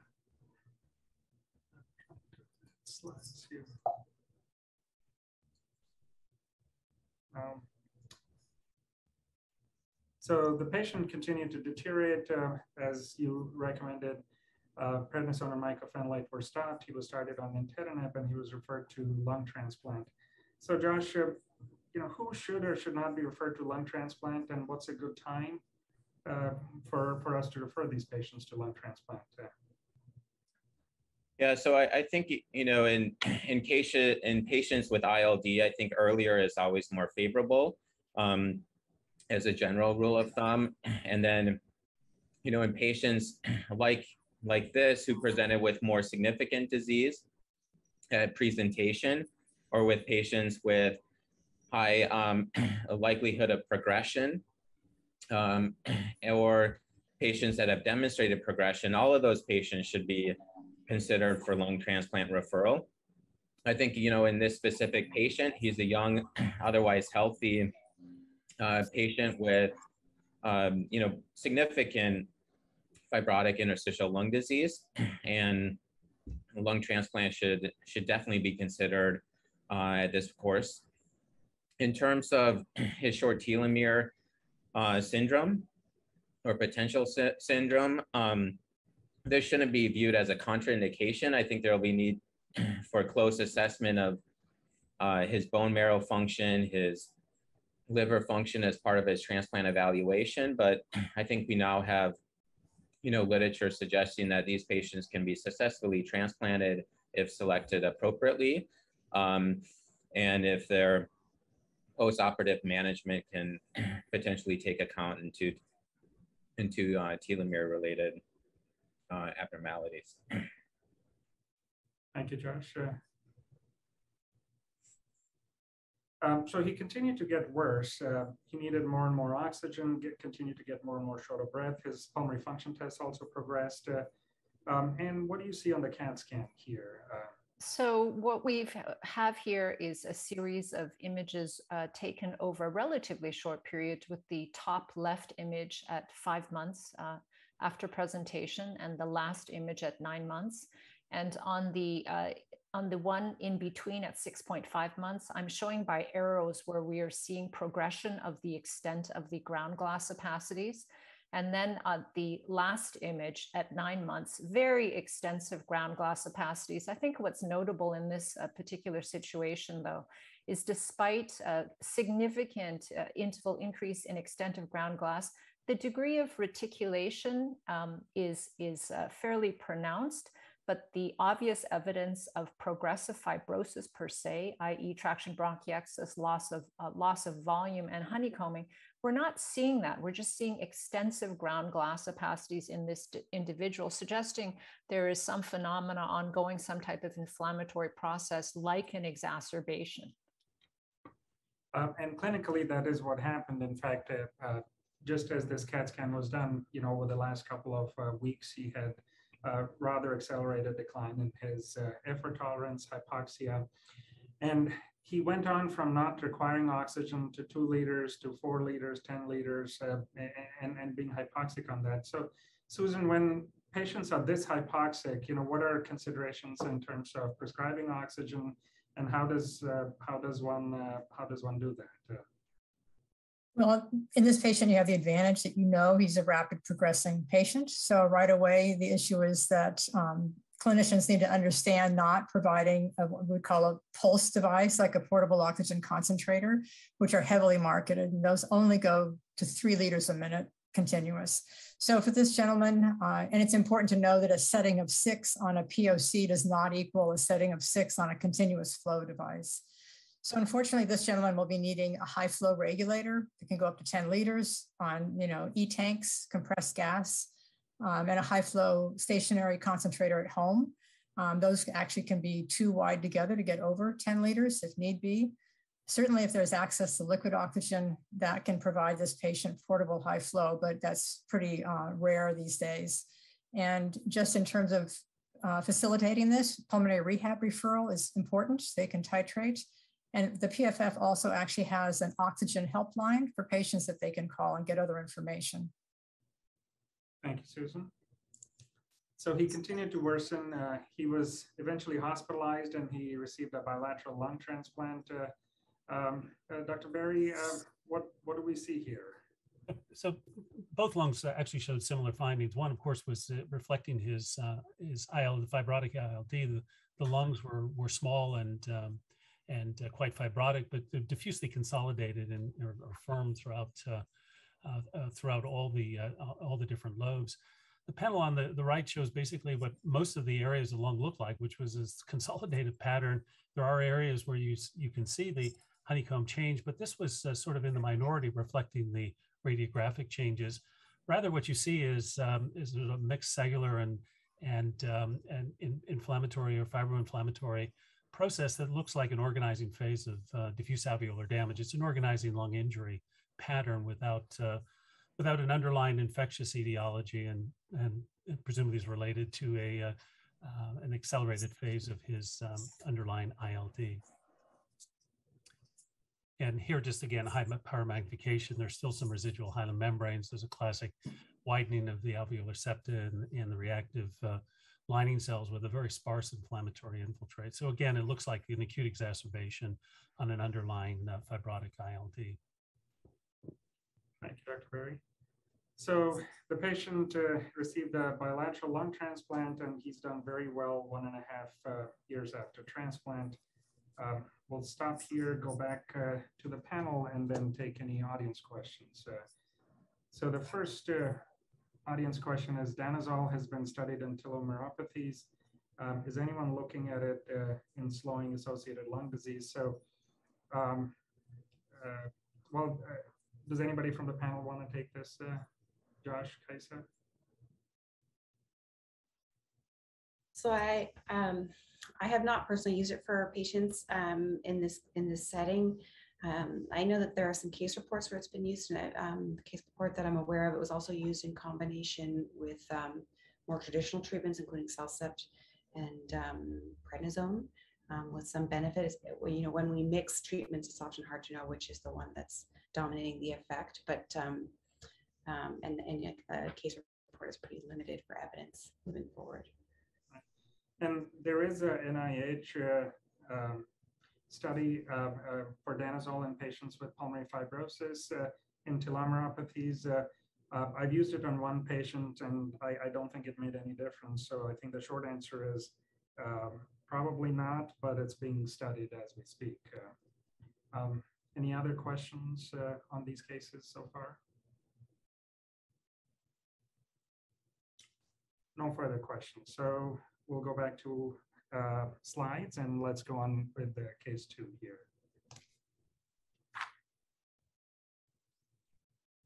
All right. Um, so this patient was a 55-year-old woman who was uh, referred to us for her ILD. She's been coughing for five years, uh, some exertional dyspnea. Uh, she worked as a janitor. Uh, diabetes, hypertension, and hypercholesterolemia were the comorbidities. She had no symptoms or previous diagnosis of connective tissue disease. Uh, um, Josh, in somebody like this, uh, you know, we know that exposure history is important, but how, how do you really approach uh, uh somebody like this uh, in terms of exposure history? Yeah, great question. So, you know, particularly I think in this um, age group, it's really important to look for etiologies of their lung disease. Um, and, you know, as mentioned in the slide, we look for connective tissue disorder, but exposure history, I think, is something that is extremely important and often overlooked.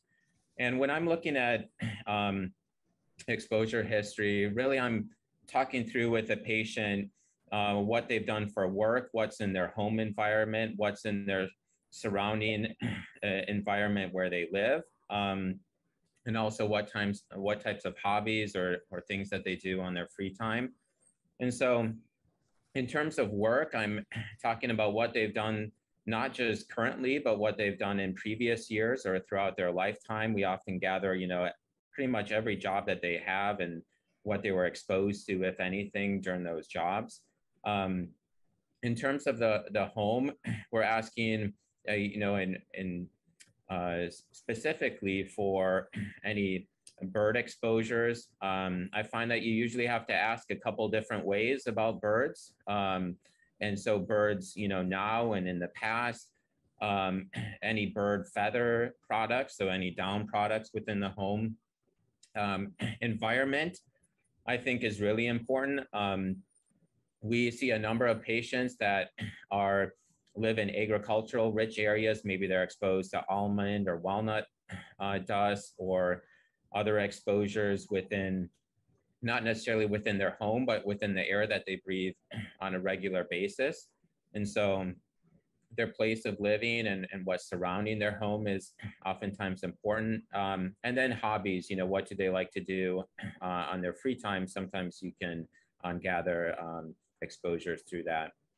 We also, you know, in, in my practice, uh, particularly if there's a high uh, suspicion, um, but really in most patients, you know, we'll also provide them with a questionnaire to take home to look within their home environment at any possible exposures. Great. And so we talked to her, she did live on a farm, uh, which houses hogs, cows, and chicken. Uh, she did take care of all these animals directly, and she also had a dove in her home uh, and she's had the bird for five, uh, two to three years. Uh, and this is what her CAT scan uh, looked like. And what do you see on the CAT scan here? Uh, so we have images um, pretty high up at the level of the aortic arch and then in the lung bases. And I think that what we can appreciate is when we compare the attenuation of the lung parenchyma to the uh, to the airway, the trachea, it's pretty evident that the lung attenuation is higher than, than is normal, uh, as it should approach the density of the airway. So the abnormalities are very extensive, both in the um, upper as well as the uh, lower lung zones. And if we go to the next image, please, thank you. Um, I'm showing you an expiratory image of the uh, right lung on the left and the inspiratory image on the right. And what you can appreciate is are these lobules of darkness. And if we you click the arrow, you, the, the yellow arrows will come up to show the areas, these lobular uh, areas of air trapping. So now we see uh, diffuse ground glass in the lung that represents the parenchymal infiltration, as well as a finding of small airways disease, i.e. the air trapping. And those two criteria allow us uh, to uh, for us to suspect that this might be an inhalational disorder like hypersensitivity pneumonitis. It fulfills those ATS criteria for hypersensitivity pneumonitis. In a different context, if the patient, for example, was a smoker, we might consider other entities such as smoking related disorders. But, um, but in a non-smoker, for example, this, these findings would be highly suspicious for non-fibrotic hypersensitivity pneumonitis. Thank you, Anne. That was very helpful. Um, um, so her PFT showed a forced vital capacity of 60%, diffusion capacity of 35%. Uh, she did not have any obstruction on her PFTs and she desaturated on 82%. Uh, so Susan, uh, with, with this desaturation, you know, what, what should we be doing next when, uh, when we have somebody like this? So this is a patient, uh, unlike our first patient, we don't really know how fast he's going to progress. And um, according to our clinical guidelines, uh, patients who only have exertion only uh, hypoxemia, you know, is a conditional recommendation. So it had very weak evidence. There weren't a lot of studies looking at this in ILD patients. So some patients may choose to use it and some may not, is how we would define a conditional recommendation.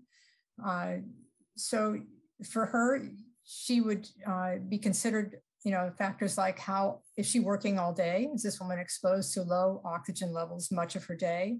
Um, does she just saturate at night? We would need to get overnight oximetry. Does she have any signs of cardiac, you know, right heart failure, pulmonary hypertension? Those would all go into factoring her recommendation. She could probably use a, a portable oxygen concentrator to begin with. Again, having deep instruction on being retested and monitored and as if her, if her condition changes. Um, and, and the fact that for her, she may be a small woman who can't lift an e-tank in and out of a car. So that needs to be documented in her notes. So, you know, she could be prescribed a POC, uh, a stationary concentrator at home and, and, and monitored, but she could possibly get away with, you know, depending on titration, um, a POC for her. Thank you, Susan. So Josh, um, you know, given the information we have, you know, the CAT scan that seemed pretty typical, she had some exposures. Do we uh, do we need to do any invasive procedures? And if yes, you know, what are the options and pros and cons of various procedures at this time? Yeah, so I, we have, um, you know, relatively recent guidelines from ATS on the diagnosis of HP, which I think brings more guidance in terms of how we think about, you know, a probable or provisional diagnosis or a more definite diagnosis in this patient, like you mentioned, I think we have a compatible antigen exposure. We have a typical HRCT pattern. And so that already puts us into um, kind of a moderate confidence diagnosis. You know, according to the more recent guidelines, if we were to do a BAL and um, with um, lymphocytosis, that would increase our level of confidence. And um, corresponding histopathology would would further uh, increase it. And so, I think in this setting, um, you know, it, uh, a bronchoscopy with at least BAL looking for lymphocytosis would be reasonable. I think particularly given that this seems like a more active or an acute setting. Um, and then I would consider uh, doing a transbronchial biopsy or potentially a cryobiopsy, depending on the center's experience. Um, recognizing that with her DLCO, you know, you have to, um, uh, you know, biopsy may put her at a slightly higher risk. And I don't think that a surgical lung biopsy would be necessary nor indicated. Um, so, um, Dr. Berry, I had a question for you. Uh, you know, although uh, transbronchial cryobiopsies are relatively safe, but they are still associated with a high risk of pneumothorax or bleeding when compared to transbronchial forceps biopsies. from a pathologist perspective, does it does it really matter, or do cryobiopsies really add much to forceps biopsies? I think it, it's going to depend on a variety of things. One, of course, is the extent of the disease, um, and and I think, in, as Josh mentioned, I think having center experience is particularly important in evaluating uh, the the the cryobiopsies. As, as, demonstrated here, these are sort of uh, two petri dishes uh, side by side, comparing just the size of the uh, traditional forceps transbronchial biopsy uh, on the uh, on the right compared to the cryobiopsy. And so the, the sample sizes are, are, are, are uh, quite impressively large. Um, and there's a couple of other things that are very helpful about the cryobiopsy. Um, for example, the, the, uh, based on the, on the procedure itself and the technique, the um, air spaces remain nicely patent as opposed to the typical atelectasis that you see in a traditional transbronchial biopsy. The, the, uh, some of the other artifacts, uh, such as hemorrhage that uh, often accompany transbronchial biopsies are limited or often absent in a in a good cryobiopsy. There are some inherent artifacts that one has to be aware of with the cryobiopsy and their evaluation, but I, I, I think that um, uh, I certainly, just based on the on the you know 15-fold increase in in material to look at, I I I, uh, I find them very uh, uh, uh I, I, I I recommend them from a pathologist perspective, just based on, on uh, tissue size. And so I think you provided us with some examples uh, comparing uh, these uh, two. Yeah, so these are, again, the traditional uh, uh, fiber optic transbronchial biopsy. These are taken at the same magnification, which just gives you sort of the an overall gestalt about the, the tremendous volume of material that one has to look at. I think this one also uh, nicely demonstrates just the difference in the in the expansion of the air spaces, which then allows you to evaluate um, the interstitium uh, perhaps a little more selectively and, and a little more confidently. Again, here's higher magnification, just showing the, the usual collapse and, and uh, hemorrhage that associates with a, a, a, transbronchial biopsy versus the cryobiopsy on the, uh, uh on the left. So there are certain tremendous uh, in, interpretive advantages of the, uh, of the cryobiopsy. And so this patient actually had a transbronchial forceps biopsy. Um, what do you see here yeah. on this slide?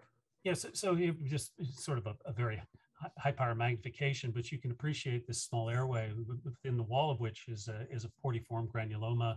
It's associated with a limited um, amount of interstitial pneumonitis. Um, so certainly seeing that pattern um, raises the, uh, the, the differential diagnosis and, and places hypersensitivity very high on, uh, on the differential diagnostic considerations. Thank you, Jerry. So Josh, uh, this is what our BAL differential showed, 70% uh, lymphocytes, 5% eosinophils, and infectious studies were negative. Does that help us uh, one way or the other? Or? Yeah, I, I, think, you know, based even without the pathology, but, you know, in the setting of her exposure history, her CT scan, and then, you know, supporting really lymphocytic predominance, and it's, you know, not in that questionable 20% you know range but it's really predominant at 70% i think that's you know very supportive of a high confident diagnosis of hp i think it's also you know likely supportive that this is still a more active um, you know a, a subacute type of uh, disease with um, active lymphocytic inflammation. Um, trying to advance slides here. So she was started on prednisone 60 milligrams, which was tapered over two months. She was asked to get rid of the bird. Uh, um, she was asked to avoid organic uh, dust inhalational exposures. Josh, does that sound like a reasonable approach here? Yeah, I think based on uh, you know the the imaging and and findings to date, I think um, a trial of of uh, prednisone while assessing for really objective res response to that would be reasonable. And most importantly, I think antigen abatement, uh, so removal of the bird, is um, is key to really having success. Right. And so she came two months later. She felt that she was feeling back to baseline. She was thinking about getting rid of the bird. Uh, other exposures uh, continue. Her forced vital capacity increased, um, and her desaturation uh, had actually disappeared. So at this point, uh, treatment wise, Josh, uh, should we continue the steroids? Should we change it to something else? Or what would you do at this point? Uh, Yeah, well, it's, I think we see here that she's objectively and subjectively responded to treatment, uh, suggesting a steroid responsive uh, disease process. I, uh, um, I think you know there's a couple factors that raise cons concern for potential relapse, including that she still has ongoing exposure. Um, and so, given her response and ongoing exposure and the risks uh, associated with prolonged prednisone treatment, I would, at this point, um, pursue a steroid-sparing agent such as mycophenolate. There's at least respect, retrospective information uh, uh, to support their use. And what I usually do is, you know, we'll use this for a course of 12, 18, 24 months with close follow-up in terms of uh, assessing whether to continue, for how long to continue that type of treatment. So she actually declined treatment uh, and she came back after 13 months. She was feeling worse, PFTs were worse. Um, she was not using oxygen. Um, she was not taking care of chicken and farms, but now she had an additional bird. Um, and then we had a CAT scan. Um, and could you please tell us what we see on the CAT scan here? So for the um, for the 13 month CT scan, I think that we can appreciate early findings of fibrosis. And if we look at the airway in the left upper lobe, um, perhaps we can show the irregular walls that is telling us that there is architectural distortion in that region. So still has ground glass opacities in the lungs uh, and now with developing findings of fibrotic lung disease. Thank you. So uh, Josh, given this, uh, would antifibrotic medications be a consideration? And what other treatment recommendations would you have for her at this time? Yeah, I think this is a, a little trickier uh, spot. I think we do have you know, from the INBUILD trial with progressive fibrotic ILD, some evidence to support the use of antifibrotics. So I think it could be considered here or I would, or with close follow-up. I would think that based on the, the current uh, spot that there may be some response um, uh, even to retrial of prednisone, uh, given that she has active bird exposure and some ground glass. And so I, I think similar to her initial presentation, probably a short course of prednisone as well to assess for improvement with the thought of, uh, you know, low threshold for adding antifibrotic uh, treatment. Thank you, Josh. So she still didn't want any treatments because she thought she felt better. She didn't come for a follow-up five years later. She has no more exposures. Uh, she's a little hypoxic, you know, desats to 88% uh, on walking. And this is what her CAT scan showed. And uh, what do you see on the CAT scan here? So unfortunately, at a five years time, we're seeing uh, more evidence of fibrotic lung disease with greater architectural distortion and these band-like opacities. Notice now that in the background of her lung, her uh, ground glass has largely uh, resolved, although the residual areas with architectural distortion are now fibrotic lung disease. And this slide here. And then the coronal reformatted image just shows the peribronchial vascular distribution and upper lobe predominance of the fibrotic lung disease. Right. So we're out of time, so um, we'll stop here. Uh, and we have one question from the audience. Uh, is there any evidence to correlate BAL findings to help differentiate this from small airway disease versus HP? Um, does anybody from the audience, uh, uh, uh anybody from the panel uh, want to take this, Josh? Yeah, I, um, you know, I, I think that, um, you know, in this setting with high lymphocytic predominance is something I wouldn't be as suspect as highly in other small airway disorders like COPD or asthma. And so I think, um, you know, I think the clinical history and, and also some of the other radiographic features beyond small airway disease is helpful, but the lymphocytic predominance, I think, would also point me towards HP. Great. All right. Uh, thank you, everyone on the panel. We're out of time and we'll stop here. Uh, thank you, everyone.